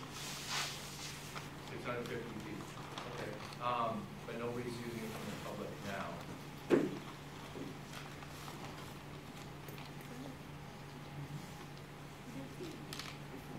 I raised this issue not directed towards Beaverbrook with any kind of implied um, concern that there may be something hidden, but I, I have a comparison table as we always provided with cluster subdivision versus conventional subdivision and a lot of data. What I don't see, which I didn't expect to see because it's probably kind of private, but what, what concerns me is a proposed development of a certain design that is advertised to the public or to the town in a way that is, appears to benefit the town, but it really benefits the, the business that's proposing the development because it might be economically more profitable to the business to do it in the cluster form as opposed to do it in the conventional form. What can you say about that? I'll be glad to answer. Uh, hang on for just a second. Um, where developers, I'm gonna talk generally now, where developers generally see a benefit to the cluster development is saving costs of construction, costs of pavement, costs associated with road length construction and some infrastructure. So the developer tends to save some money there. However, the value of the individual lots are smaller. The houses that are sited on the on the smaller lots are generally smaller. So the developer, that kind of balances out what, what the developer is saving versus what, um, he's losing in the value of, of the ultimate finished product. Um, What we like to see in a development, and we have a developer here, John Colantoni, who has done a lot of developments in town and, and in other towns as well, but he's done a lot of good developments in Danvers. Um, You look at this site, you have a, uh, project engineer who is in Danvers, and has his office in Danvers, he wants to develop a good site. So that all kind of plays into it. Is there a great deal of benefit from, uh, financially to the developer in doing the cluster versus the conventional? I would say probably not, and maybe not at all, um, in this particular case. John, you wanna speak to that? For the record, John Colantoni, uh, by the board many times, good evening. Um, From a developing standpoint, my partners, if, we'll come in with the conventional all day long. Uh, Any sale that's done, any- product, any service, any house, any real estate, anything, is perception. So when people come, it's emotional buy, and you get a fifty thousand square foot lot with a house on it, or you get a forty thousand square foot lot with a house on it, we can get more money for that than a fourteen thousand square foot lot or an eighteen thousand square foot lot. So then you say, well, why are we even bothering to do this? It's the right thing to do, and that sounds corny, but it's true, and if anyone comes to any of my sites that we do our projects on, we go the extra mile to do it the right way, not just to make the sale to make the money. So we can come in here next time with the conventional, with your definitive, everything that you want, um, and I think it's ninety-nine point nine percent by right. We're coming here asking for a special permit tonight and a vote tonight, because we would have to now come back with the definitive that you guys can say yay and nay to, is no guarantee, and if you give us the special permit for the, uh, for the cluster, that you're gonna approve it. But we're not gonna go out and spend hundreds of thousands of dollars to do that definitive for the cluster. We're gonna go out and go to the conventional because we know it's gonna be by right. So, I, those that have seen me speak before, and I've been here many times, I wear my heart on my sleeve, and some people like what I say, some people don't, but I say how it is. So if we walk out of here tonight, it's no threat to the board, it's just, it is what it is, and we don't have a good feel for the cluster, these two are getting their directions from me and my partners, that we're not spending any more time on the cluster, we're doing the conventional. But I have to tell you, I love Danvers. I went to St. John's Prep. I have many, many friends in Danvers, though I live in Ipswich. I've run that whole area millions of times when I was younger, though it doesn't show today. And I spent hours upon hours at Nickel Street on our four townhouse project. I love the area, absolutely love it. And I know some neighbors are here that are against any subdivision there. But if there's gonna be a subdivision there, it should be the cluster. It's the right thing to do, no matter if it's six hundred and fifty square feet of open space that possibly can be used by, uh, town people, or two hundred. It's the right thing to do, because if we do it the other way, there's not gonna be as much control for the town. To be able to have almost three acres of open space in woods that can stay there forever and never be touched, I, don't, I don't even see how you cannot go in that direction. Special conditions about being able to connect to the rail trail, I guarantee it, make it. We'll make it, part of it is the permitting, is, is not a problem. So if that's something that you're concerned about, make it a special condition tonight on that special permit to let us spend the money to go in that direction of the cluster subdivision. Um, I can go on and on, I apologize, thank you. Mr. Colantoni, I appreciate your passion for the subject and your, in your project, but I had to ask the question because I think there are people in the public that want to know. Is, is there a hidden agenda to proposing a cluster as opposed to a conventional? And you answered the question, and, and I appreciate it. You did say it's the right thing to do, and I know that there are people out there that may disagree with that assessment as to whether that's the right thing to do or not. I might be in that camp, I'm not sure, because I don't live as an abutter. And I think it's important that the abutters um, be consulted. I would ask that as a question. Have the abutters been consulted? Looking at section 33.1, one of the purposes of cluster development is to promote aesthetics. And aesthetics, I think, is most important to those that are going to be impacted every day by the development. So I would ask, have all the abutters and people who can see the property, maybe not abutting, but close by, have they all been privately consulted to see what their opinions are on it? I think John met No, with, we have with many. The audience will them? have their chance. This is the board. Yeah, John has met with, with many, certainly those who are perhaps most affected here along this, this area, uh, I believe have been, uh, certainly entered into agreements or otherwise have been consulted. I believe John met with some folks on the other side of Maple Street. Um, but again, that's what the public hearing also is all about, and those folks who haven't been consulted certainly got notice, and they will be here as part, part of this process. Um, thank you. Just a few more questions, if you don't mind. Um,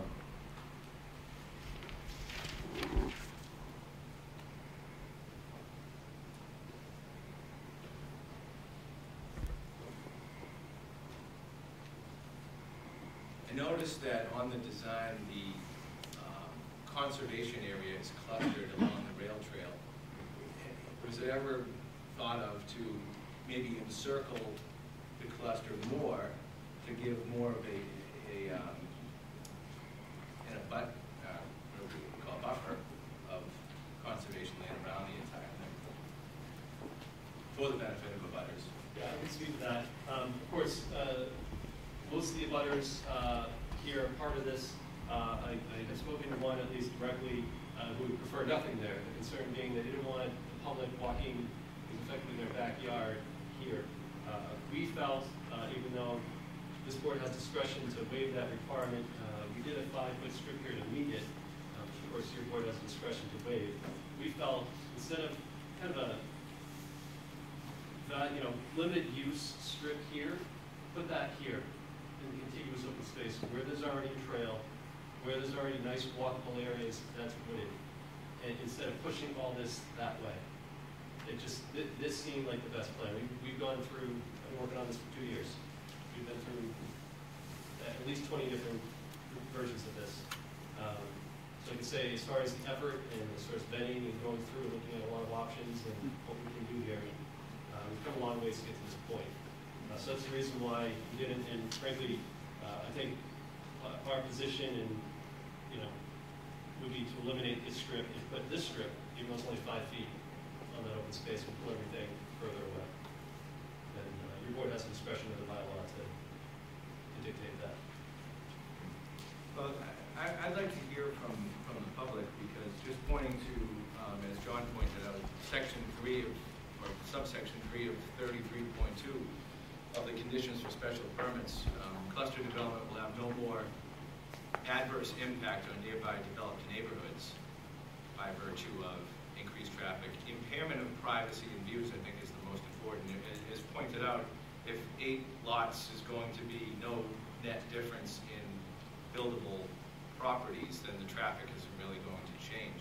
But impairment of privacy and views, I think, is very important. And I, and I would just make it known, I think, just state for the record that it's not a foregone conclusion, as I, as I responded to John, uh, like Mr. Colantoni, it's not a foregone conclusion among the public that cluster developments are a more aesthetically pleasing design than a conventional. And I think that it's very important to hear from the neighbors who will be most impacted by this um, before I would be able to make a decision, really. I wouldn't, might want to make the decision based on my personal opinion about cluster developments, which, from an aesthetic point of view, I find displeasing. I'd just like to hit on the, uh, the outside looking in aspect of this before you, you pass this along to the next public.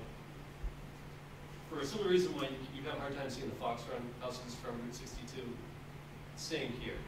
You have existing homes on the Street, for the most part, all those homes, the grade comes up, and the houses are sitting up. So from Maple Street, you have this buffer here, and then it drops off. You can see the distance from the street back to the house lots. It's quite a ways. 300 feet to this corner. This will be tucked behind all those homes and lower in elevation. The grades here on the road at 64, it gets up to 92 up through this area before you get back down to 64 here and 70 in the street. So these are all tucked down below And thirty feet, that's, you know, it's the height, it's the height of a house, 30, 35 feet. So this would be very difficult to see from Maple Street. We emphasize more open space over here in a wider buffer because this is up against the Fox Run subdivision. We thought that was a benefit as opposed to conventional where we can clear right up to the lot line.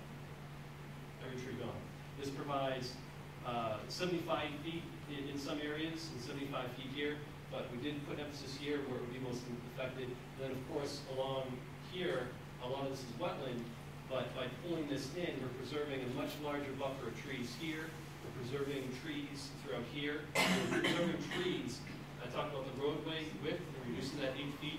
We save a lot of large trees along this edge of the wetland that if we go to full width under that, they're gone. They gotta come down. And that's something we gotta talk to the Conservation Commission about. But really the alternatives that we're getting to, in which direction we go, is dictated here. We're at that step in the process.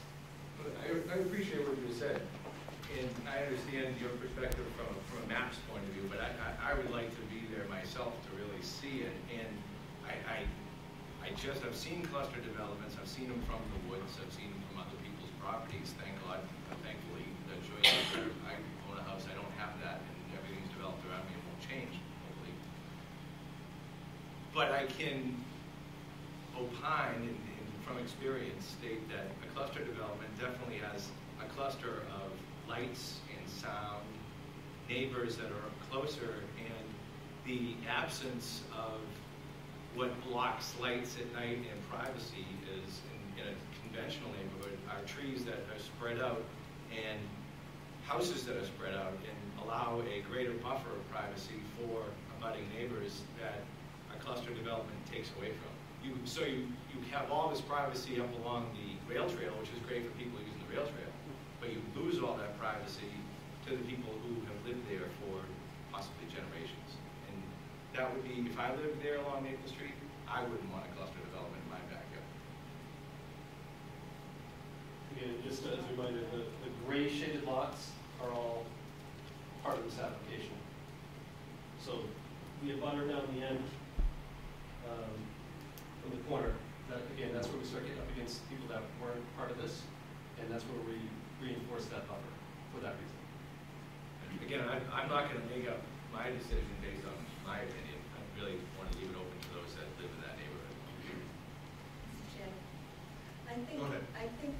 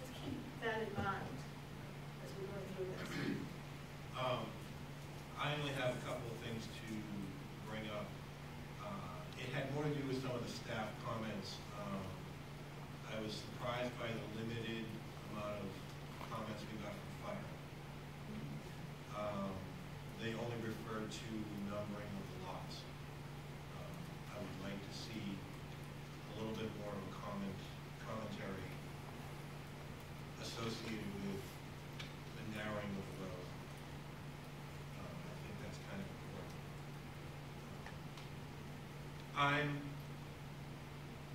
I don't want to say I'm a fan of either cluster or general subdivision. If I like the look of the subdivision under the right situation, I like the cluster subdivision when it's done the right way, okay? Um, With this particular one, my one question is, I was surprised, and this leads into my other I was surprised to get a staff comment from public health uh, associated with the brook that can cause possibility of beaver dams and things like that. So is there a chance that you could comment, Scott, on what the effect of the traditional subdivision would have on that area that the public health brought up? About the, did, did, did you see any of that comment? We didn't see Okay. fire or public. He commented on that there's a, uh, some brook area that where the beavers would build dams, and he was concerned that the land would flood in different areas. And I'm assuming it's the area at the top, So lot six, seven, and eight. yes, Yeah, which the actual lots would be yeah. encroaching onto. So the- here, obviously, they push further back to the extent, you know, working within the wetlands buffers, they push back. Allows them to go all the way, all the way up to the twenty-five foot no disturb on these properties. In this case, it's only lot eight that would push up against that, and then the whole rest of this area as well is permanent, would be permanently protected. Uh, on the road coming through here, uh, what we're, what we're want to do is less filling of that area, because this is an impoundment area, less filling, so a narrow road would allow for less filling. Uh, We will provide whatever uh, compensatory storage we need to, to meet the FEMA regulations in the floodplain district. Uh, It's not much, we're just barely into it.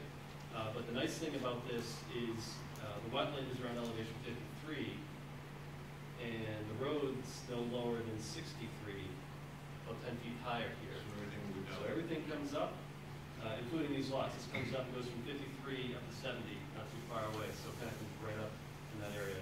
Uh, it looks a little bit more on plan when you're out there, it doesn't look as much, but the, the development area is well above anything that would flood. I mean, the whole, this whole area, maybe you wouldn't be able to get down to sixty-two, it would be catastrophic. So in the.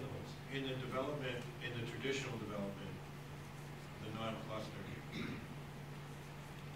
that area would be, is it non-buildable in that area also because of wetlands? There's portion, yeah, there's portions here that, you know, the twenty-five foot line, they can't touch, and then there'll be limitations to some extent into the riverfront area here. But this is clearing lot line to lot line. It's So- under the conventional. Here's my question then. In those upper, I, I don't know, are they six, seven, and eight, those top ones? Yeah, uh, yeah, six, seven, eight here. Okay, so in six, seven, eight in the traditional, would it create a situation where, um, water would have to be diverted? Or you'd have to create, um, a, a different type of, uh, culverts and things like that? Well, I'm- I'm curious, because that was one of the things I would, not to start using other plans, but that was one of the sticking points with one of the other subdivisions versus cluster for me. It started talking about diverting water. No, yeah, there's no, either scenario, Okay, the water's all going in the same spot. It Okay. all- It all goes to this wetland here, to Beaver Brook here. This is the low spot of everything. right. Whipple Hill, everything you mentioned, it all comes down to the same landform. You get down here and then heading out, if you've been on the rail trail in this area, you know, the vista looking out over, this is St. John's Land, but all this open space, this is all the low spot in this area. So that's where I'm saying, this is, this has the benefit of being kind of below and away from a lot of, a lot of everything else up here. Um, And do you have more stormwater management for the conventional? Yes, we have to do more stormwater management. Need, there's more impervious coverage, so there's more infrastructure, and that's the whole idea. We're looking to trade off open space for reducing that, that impact, which the town, you know, if it goes public, would have to maintain in the future, so it's less maintenance, there's a lot of benefits long term. My personal opinion on this overall, I'm more of a fan of a cluster subdivision. In this situation, I think it does require a bit more, um, we need to look at it a little closer before I'm going to approve the special permit. Um, I do want to remind the board that it is a supermajority. So when we have five members, it's four to one, um, that we require. Or it doesn't have to be unanimous, but it does have to be a minimum of four to one to pass. Um, That being said, before I throw it out to the audience, is there questions from the board or any other comments? Okay, so I'm going to put this out to the uh, audience. Uh, A couple of things. We're talking about the special permit in relationship to uh, the general subdivision. Uh, Any comments, any questions? We'd like you to come up, use the microphone, and please give us your name. Uh, In an orderly fashion, please, whoever wants to go first, come right over here.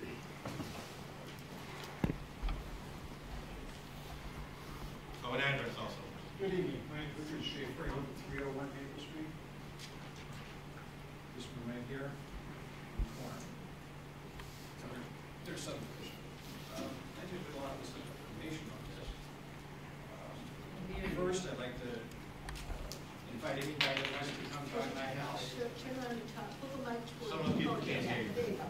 Um, I'd invite anybody to come to my house Saturday if you want. It'll be open for anybody to come here and walk the land to take a look at what's going on. This is very deceptive. Um, I'll start with the easy things. If you, um, gentlemen, we talk about the traffic. It's just start. In the morning and in the evening, it is stopped bumper to bumper from the house going down here. Um, I also am not sure if it meets the three hundred foot requirement here at Forest Street. I haven't measured it myself, but it's awful close. There is a zoning requirement for that. It's a very, very dangerous hill. There's also um, barriers, yellow barriers that you might hear, because that, here's that hill right here is so dangerous. There's been a number of accidents almost constantly. Uh, We had a couple, kids die a couple years ago, that, um, flipping a car over. Police regularly set up speed traps, top and bottom. This is a very dangerous section of road. Um, The next thing you mentioned was getting in a fire engine in here.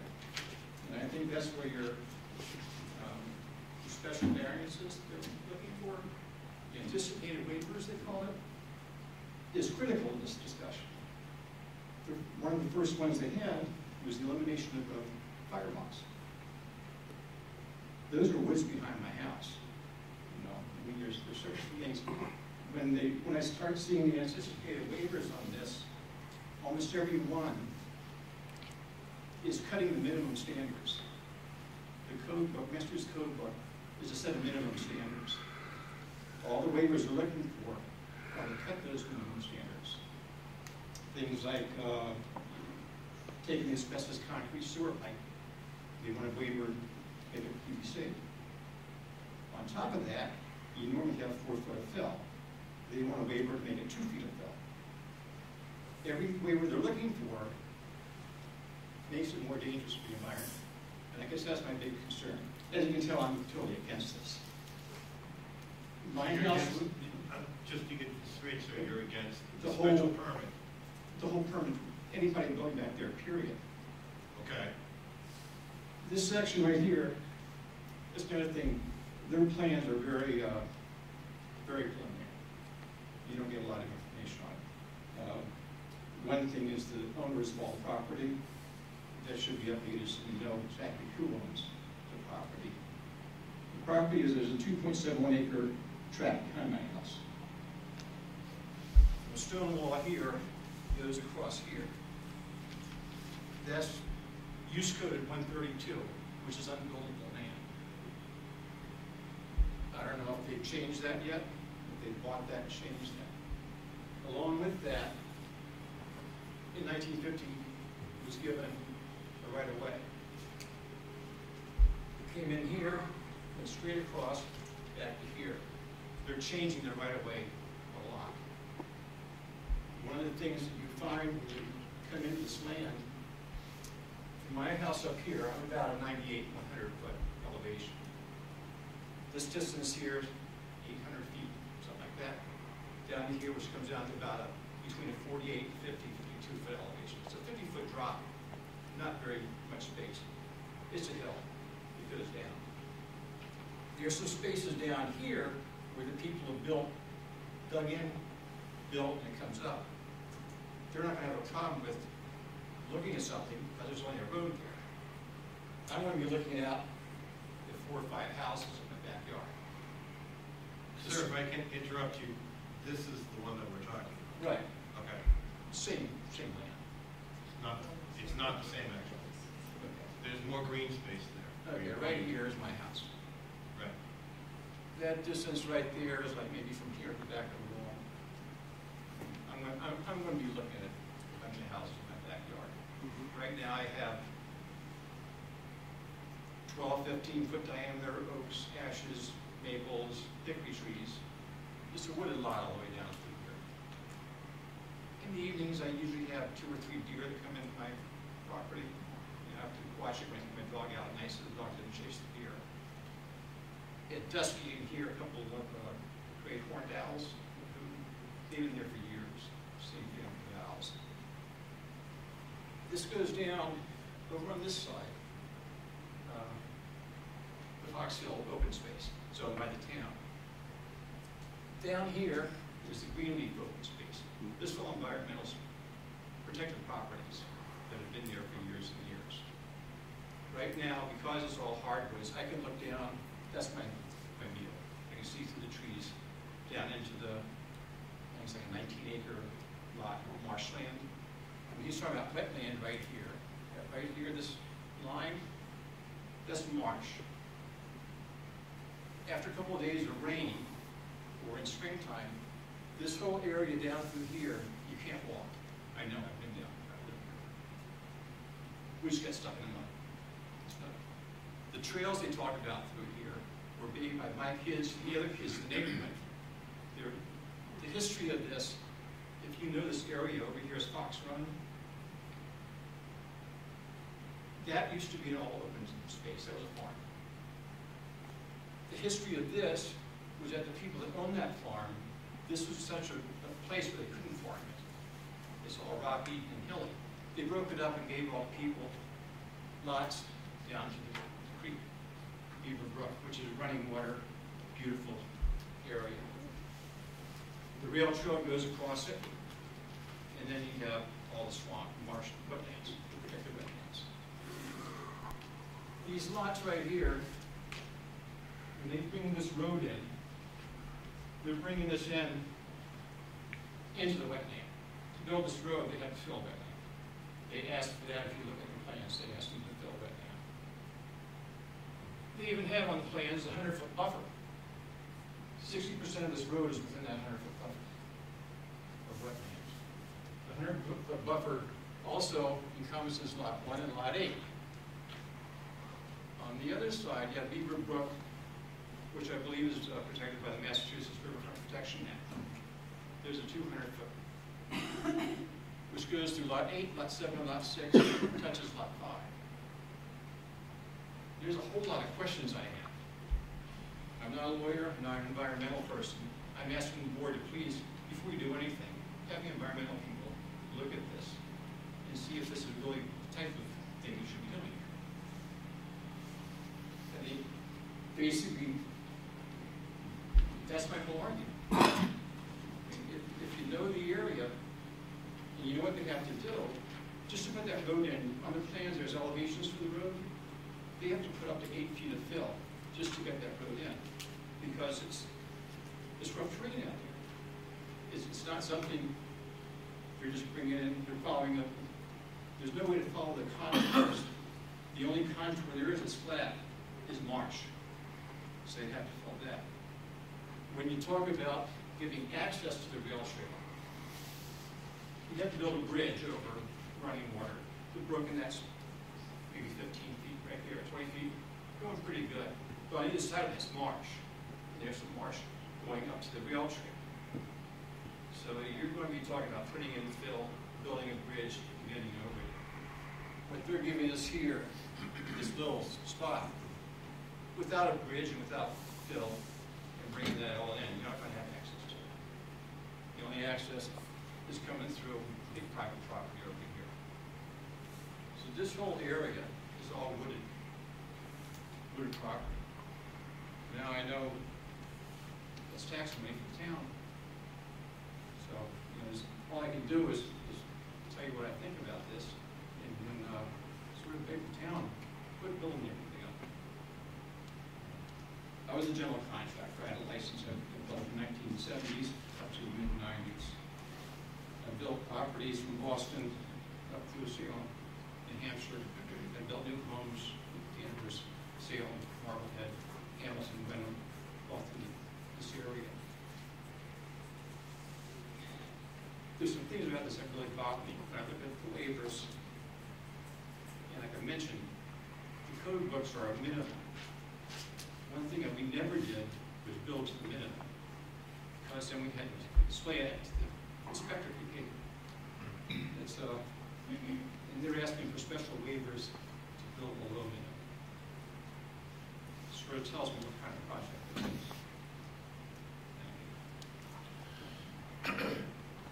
Um, Before the next person, just to let you know, the board is looking for a response as to whether or not people are interested in special permit versus a traditional uh, subdivision. Uh, You don't have to state that if you don't want to, but the- most of the board has been looking for that type of guidance from the abutters. Go ahead. Yeah, you- had your hand. I did. Thank you. I am Ted Lally, I live at uh, 278 Maple Street. Uh, I'm, I guess, uh, I'm probably right down here in the corner. I'm uh, up on a hill, uh, across the street. This is gonna be very, very visible to me because, as, uh, as my neighbor pointed out, he's gonna be able to see it, and I can see down into his backyard. I, I don't think that this is a great idea. I have to agree with him wholeheartedly. I grew up in that neighborhood with the, with the exception of a thirteen-year sabbatical living in Salem. I've been in that neighborhood for sixty-five years now. That area that they're talking about down in here, they're, they're saying that, you know, this is a brook and everything. He's correct, it's marsh for, for a good portion of the year, and I mean a good portion of the year. That's nothing but mud down there. I, I don't think, I don't think the whole project is a great idea. I'm not sure whether I like the cluster better than the conventional. I will tell you, uh, when I was a kid, my parents used to say things like, uh, good fences make good neighbors. Um, I can't imagine anybody wants smaller lots than bigger lots. I understand the need for green space. I understand the need for access to the rail trail. But I'll also point out to you that from the area of, of here to actual egress to the rail trail on Nichols Street is, it's not that much. I mean, it's not like you're gonna be walking three quarters of a mile to get there. It's right down the street. I don't think egress from that area is all that important to the rail trail, to be perfectly honest. I think you're also gonna have issues, basically because that is marshland. You're gonna be coming in and sanding and salting in the winter, and all that runoff's gonna end up down in Beaver Brook. I can go back to, oh, I don't know, like, maybe it's like five years ago now, where the, uh, the bridge washed out down at the corner of Vineyard Street from all of the water coming out of Beaver Brook. Well, where do you think all that stuff came from? And when the water was that high down there, what, what do you think it looked like in here? I mean, I don't know whether they're building slab houses or not, but I can tell you in no uncertain terms. And, and I also, to kind of get off on it a little bit, I find it interesting that I have indications of where the homes are gonna be in the cluster development, which I, I feel is the contractor's preference, uh, for, for whatever reason. I understand that bigger houses don't always necessarily mean bigger profits.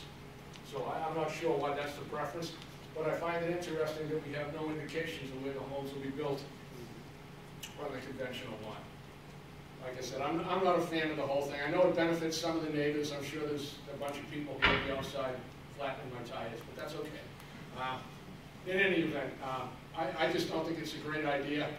I'm not a big fan of cost of housing. I, I read things on the internet and, it- you know, the closer people are, it seems, the less they get along. I mean, I, I listen to the police radio all the time at my house, this, this disaster that they put in where the state hospital used to be. I think our, uh, you know, our brave public service people are up there way too often. Um, you know, the cars in the driveway, the stereo's too loud. I, I don't think cost of housing is a great idea, but I will tell you in no uncertain terms, building down in this area is not a great idea. This is, I, I haven't looked, I'm not as schooled as, as my neighbor was, but I can tell you in no uncertain terms, that, that's not gonna be, uh, that's not gonna be great housing down there. You're selling a lot of sump pumps in that neighborhood. Thank you all for your time. Go ahead.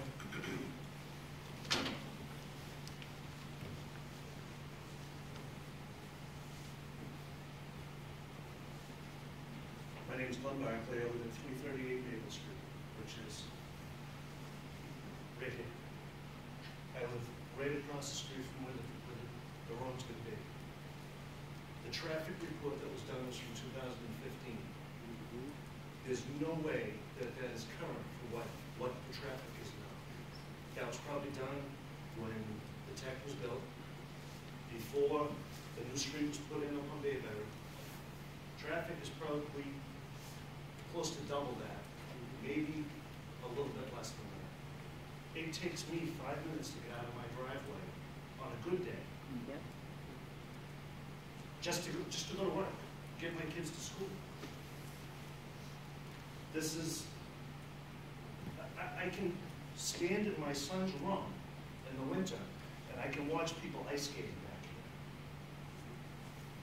That's how much water's back there. Always.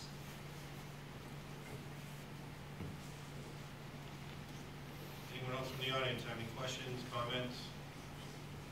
I just have one comment. If Please they do, Come up, please come up. well, I really don't want to do that, I will do that, because they haven't talked about the other buildway. If they do build Can, normally, can we get your name and address, please? my name, I'm Freola Maple Street, George Schaefer. Thank you. If they do the regular building, they would be right in on that water. All the water that's down there, all the other stuff. So that's why this isn't really, if they're gonna do it, that would be the better way to do it. This is gonna make it even worse.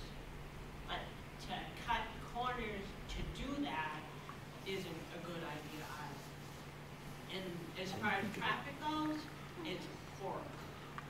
So if you really want to sit there every day and see how much traffic it is, it's one of our children tried to get out of our driveway and somebody came down that street so fast and took the whole car with them. So, I mean, it's not safe.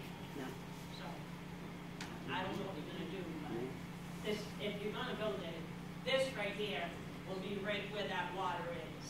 That, there's like, it's just wouldn't work at all.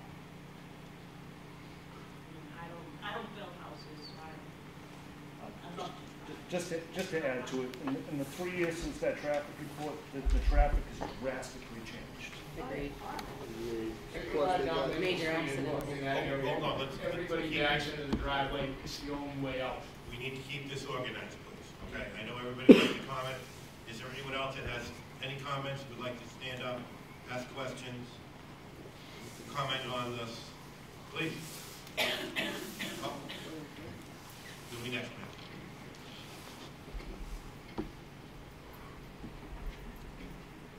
My name is Jose Velasquez, and I live at three seventeen Maple Street, right here. Uh, I happen to think that, uh, that development will improve the neighborhood. Uh, I'm a full believer, I've been living there for about fifteen years. Uh, When I moved there, all that we had there was a, a dumping ground. People use that as a, as a dumping ground.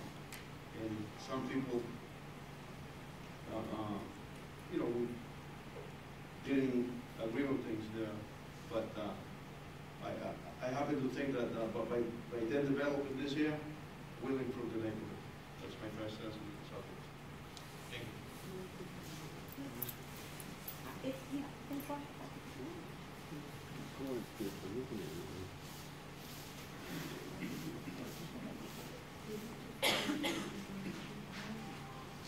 Kristen Webb at three twenty-one Maple Street.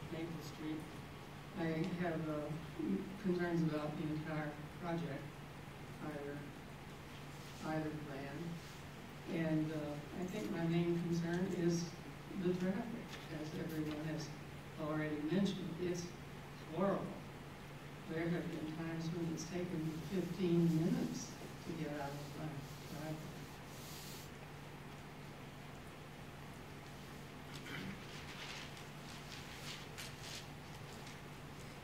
Anyone else have any questions, comments from the audience? Okay. Um, So I can bring you back to the board. Uh, We've heard some comments from the audience.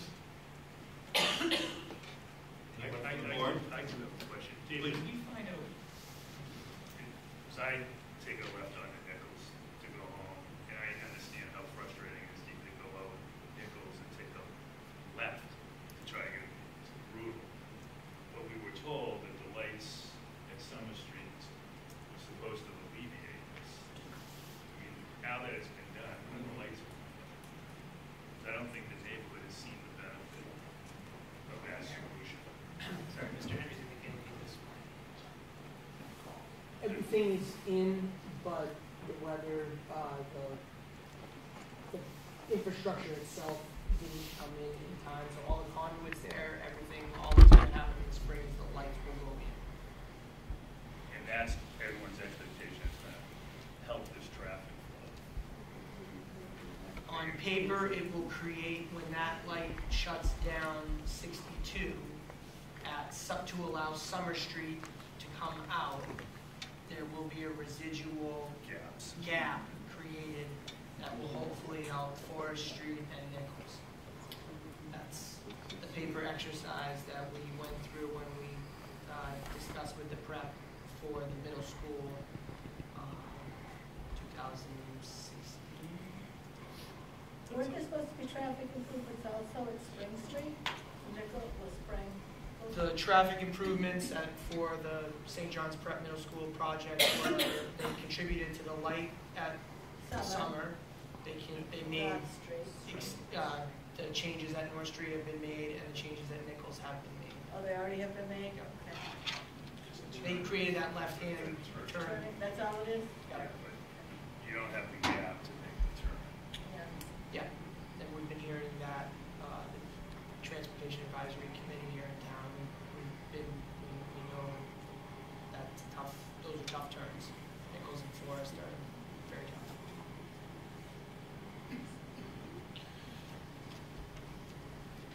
So anyone else from the board have any, now that we've heard from the audience, other questions? No? Just as a board, we're ready to make a decision based on what staff said. There's a lot more information we need. I agree, I think we should uh, move to continue this to another day. Would you like to say? The board would like to say, I, I would do the same. I'll be happy to. We can set one. Yeah, we'll say. Yeah.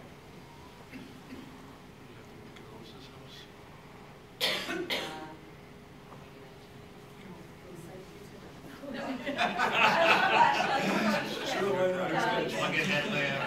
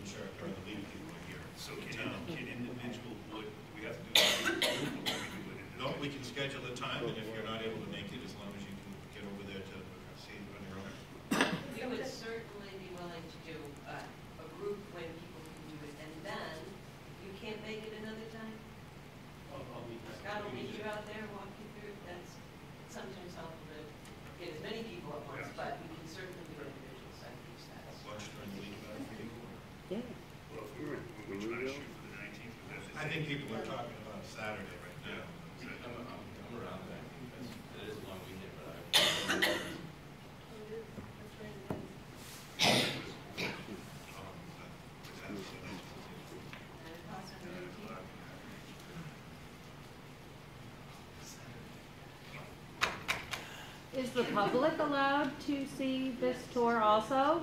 This is the board members. uh, Just the board members? Just the board members.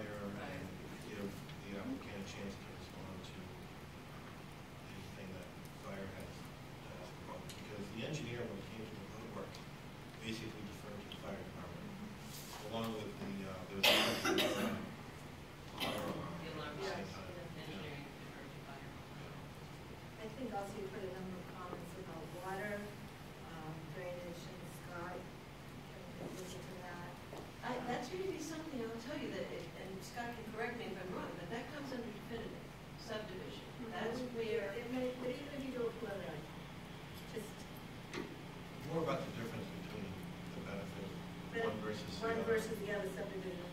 I think you can certainly speak to that.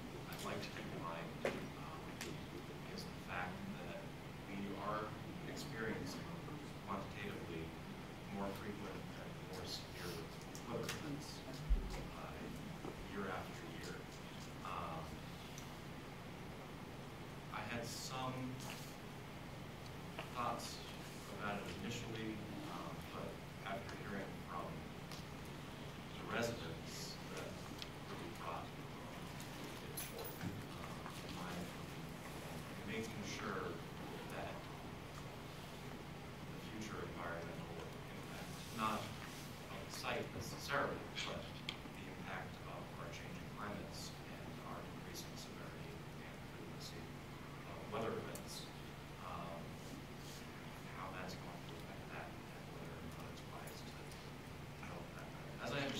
getting a little closer to a full, now they're talking about yeah, 100-year storms and things like that. That's when they do a full. Um, As I understand it now, we're not discussing whether or not it's developed, right? We're discussing this is how discussing, This is whether or not we're going to move forward with a cluster subdivision versus a traditional subdivision. And we're going to try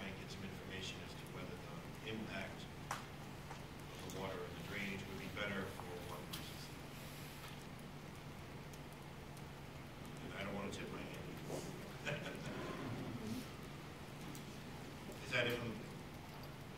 You have everything you need so far? Uh, I think so, in case, touch base, we base, and, uh, we would ask then to continue to your next meeting. I need a motion for continuance.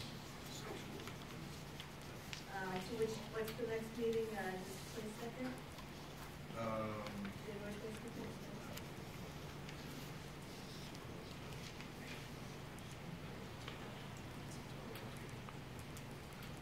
I'd like to try and move forward with two weeks. If it turns out that we can't get enough together, you know, we can keep it from there and on. Sure. Okay. So we have a motion for, uh, two weeks from now, January twenty-second. January twenty-second. Uh, I second it. we have a second? I just seconded it. I thought. I, I. I I made that. Oh, you made the Made the motion? motion, I I apologize. Oh. Uh, so we have a motion on the floor for continuance, um, and a second. All those in favor? Aye. Opposed? Thank you very much. See you then.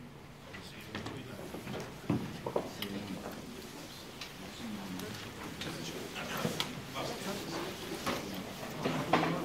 So. Does anyone have a problem with the meeting? Uh, Jim Long gone?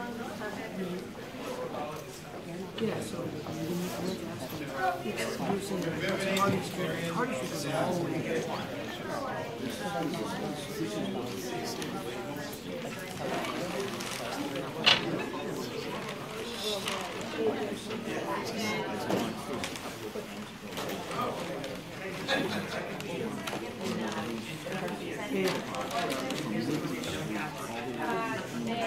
take four out of yours.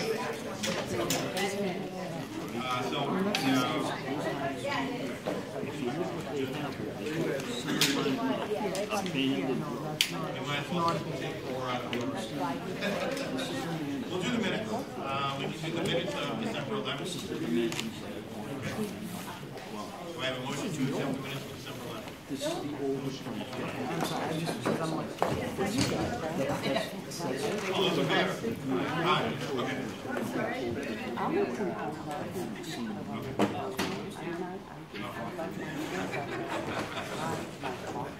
Okay, so, next on the agenda, basically, um, other business and, uh, discussion and briefing into one under. So,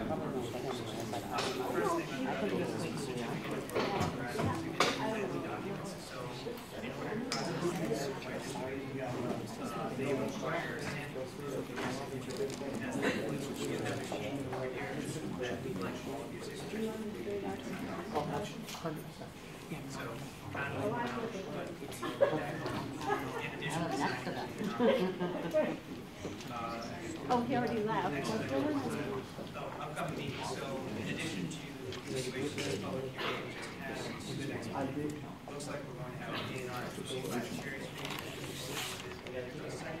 It's really a small, small sliver of land being lopped off on the park next door. This was a street, it's not, we're not cutting up the towns to say so. So you're the, Yeah, I want to, the one, I do the, I guess the cheap one. Right, yeah, right, it's really just a kind of swap. Doesn't matter. you plug it? Uh, the other thing we'll have is performance guarantee modification. That's all. All that is- Notice everything.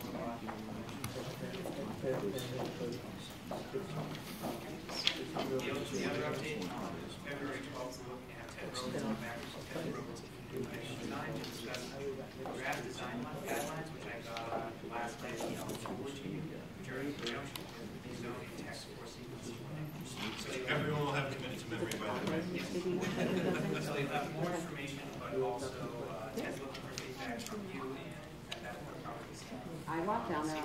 Bill actually, the guys were all fighting my dog the other day.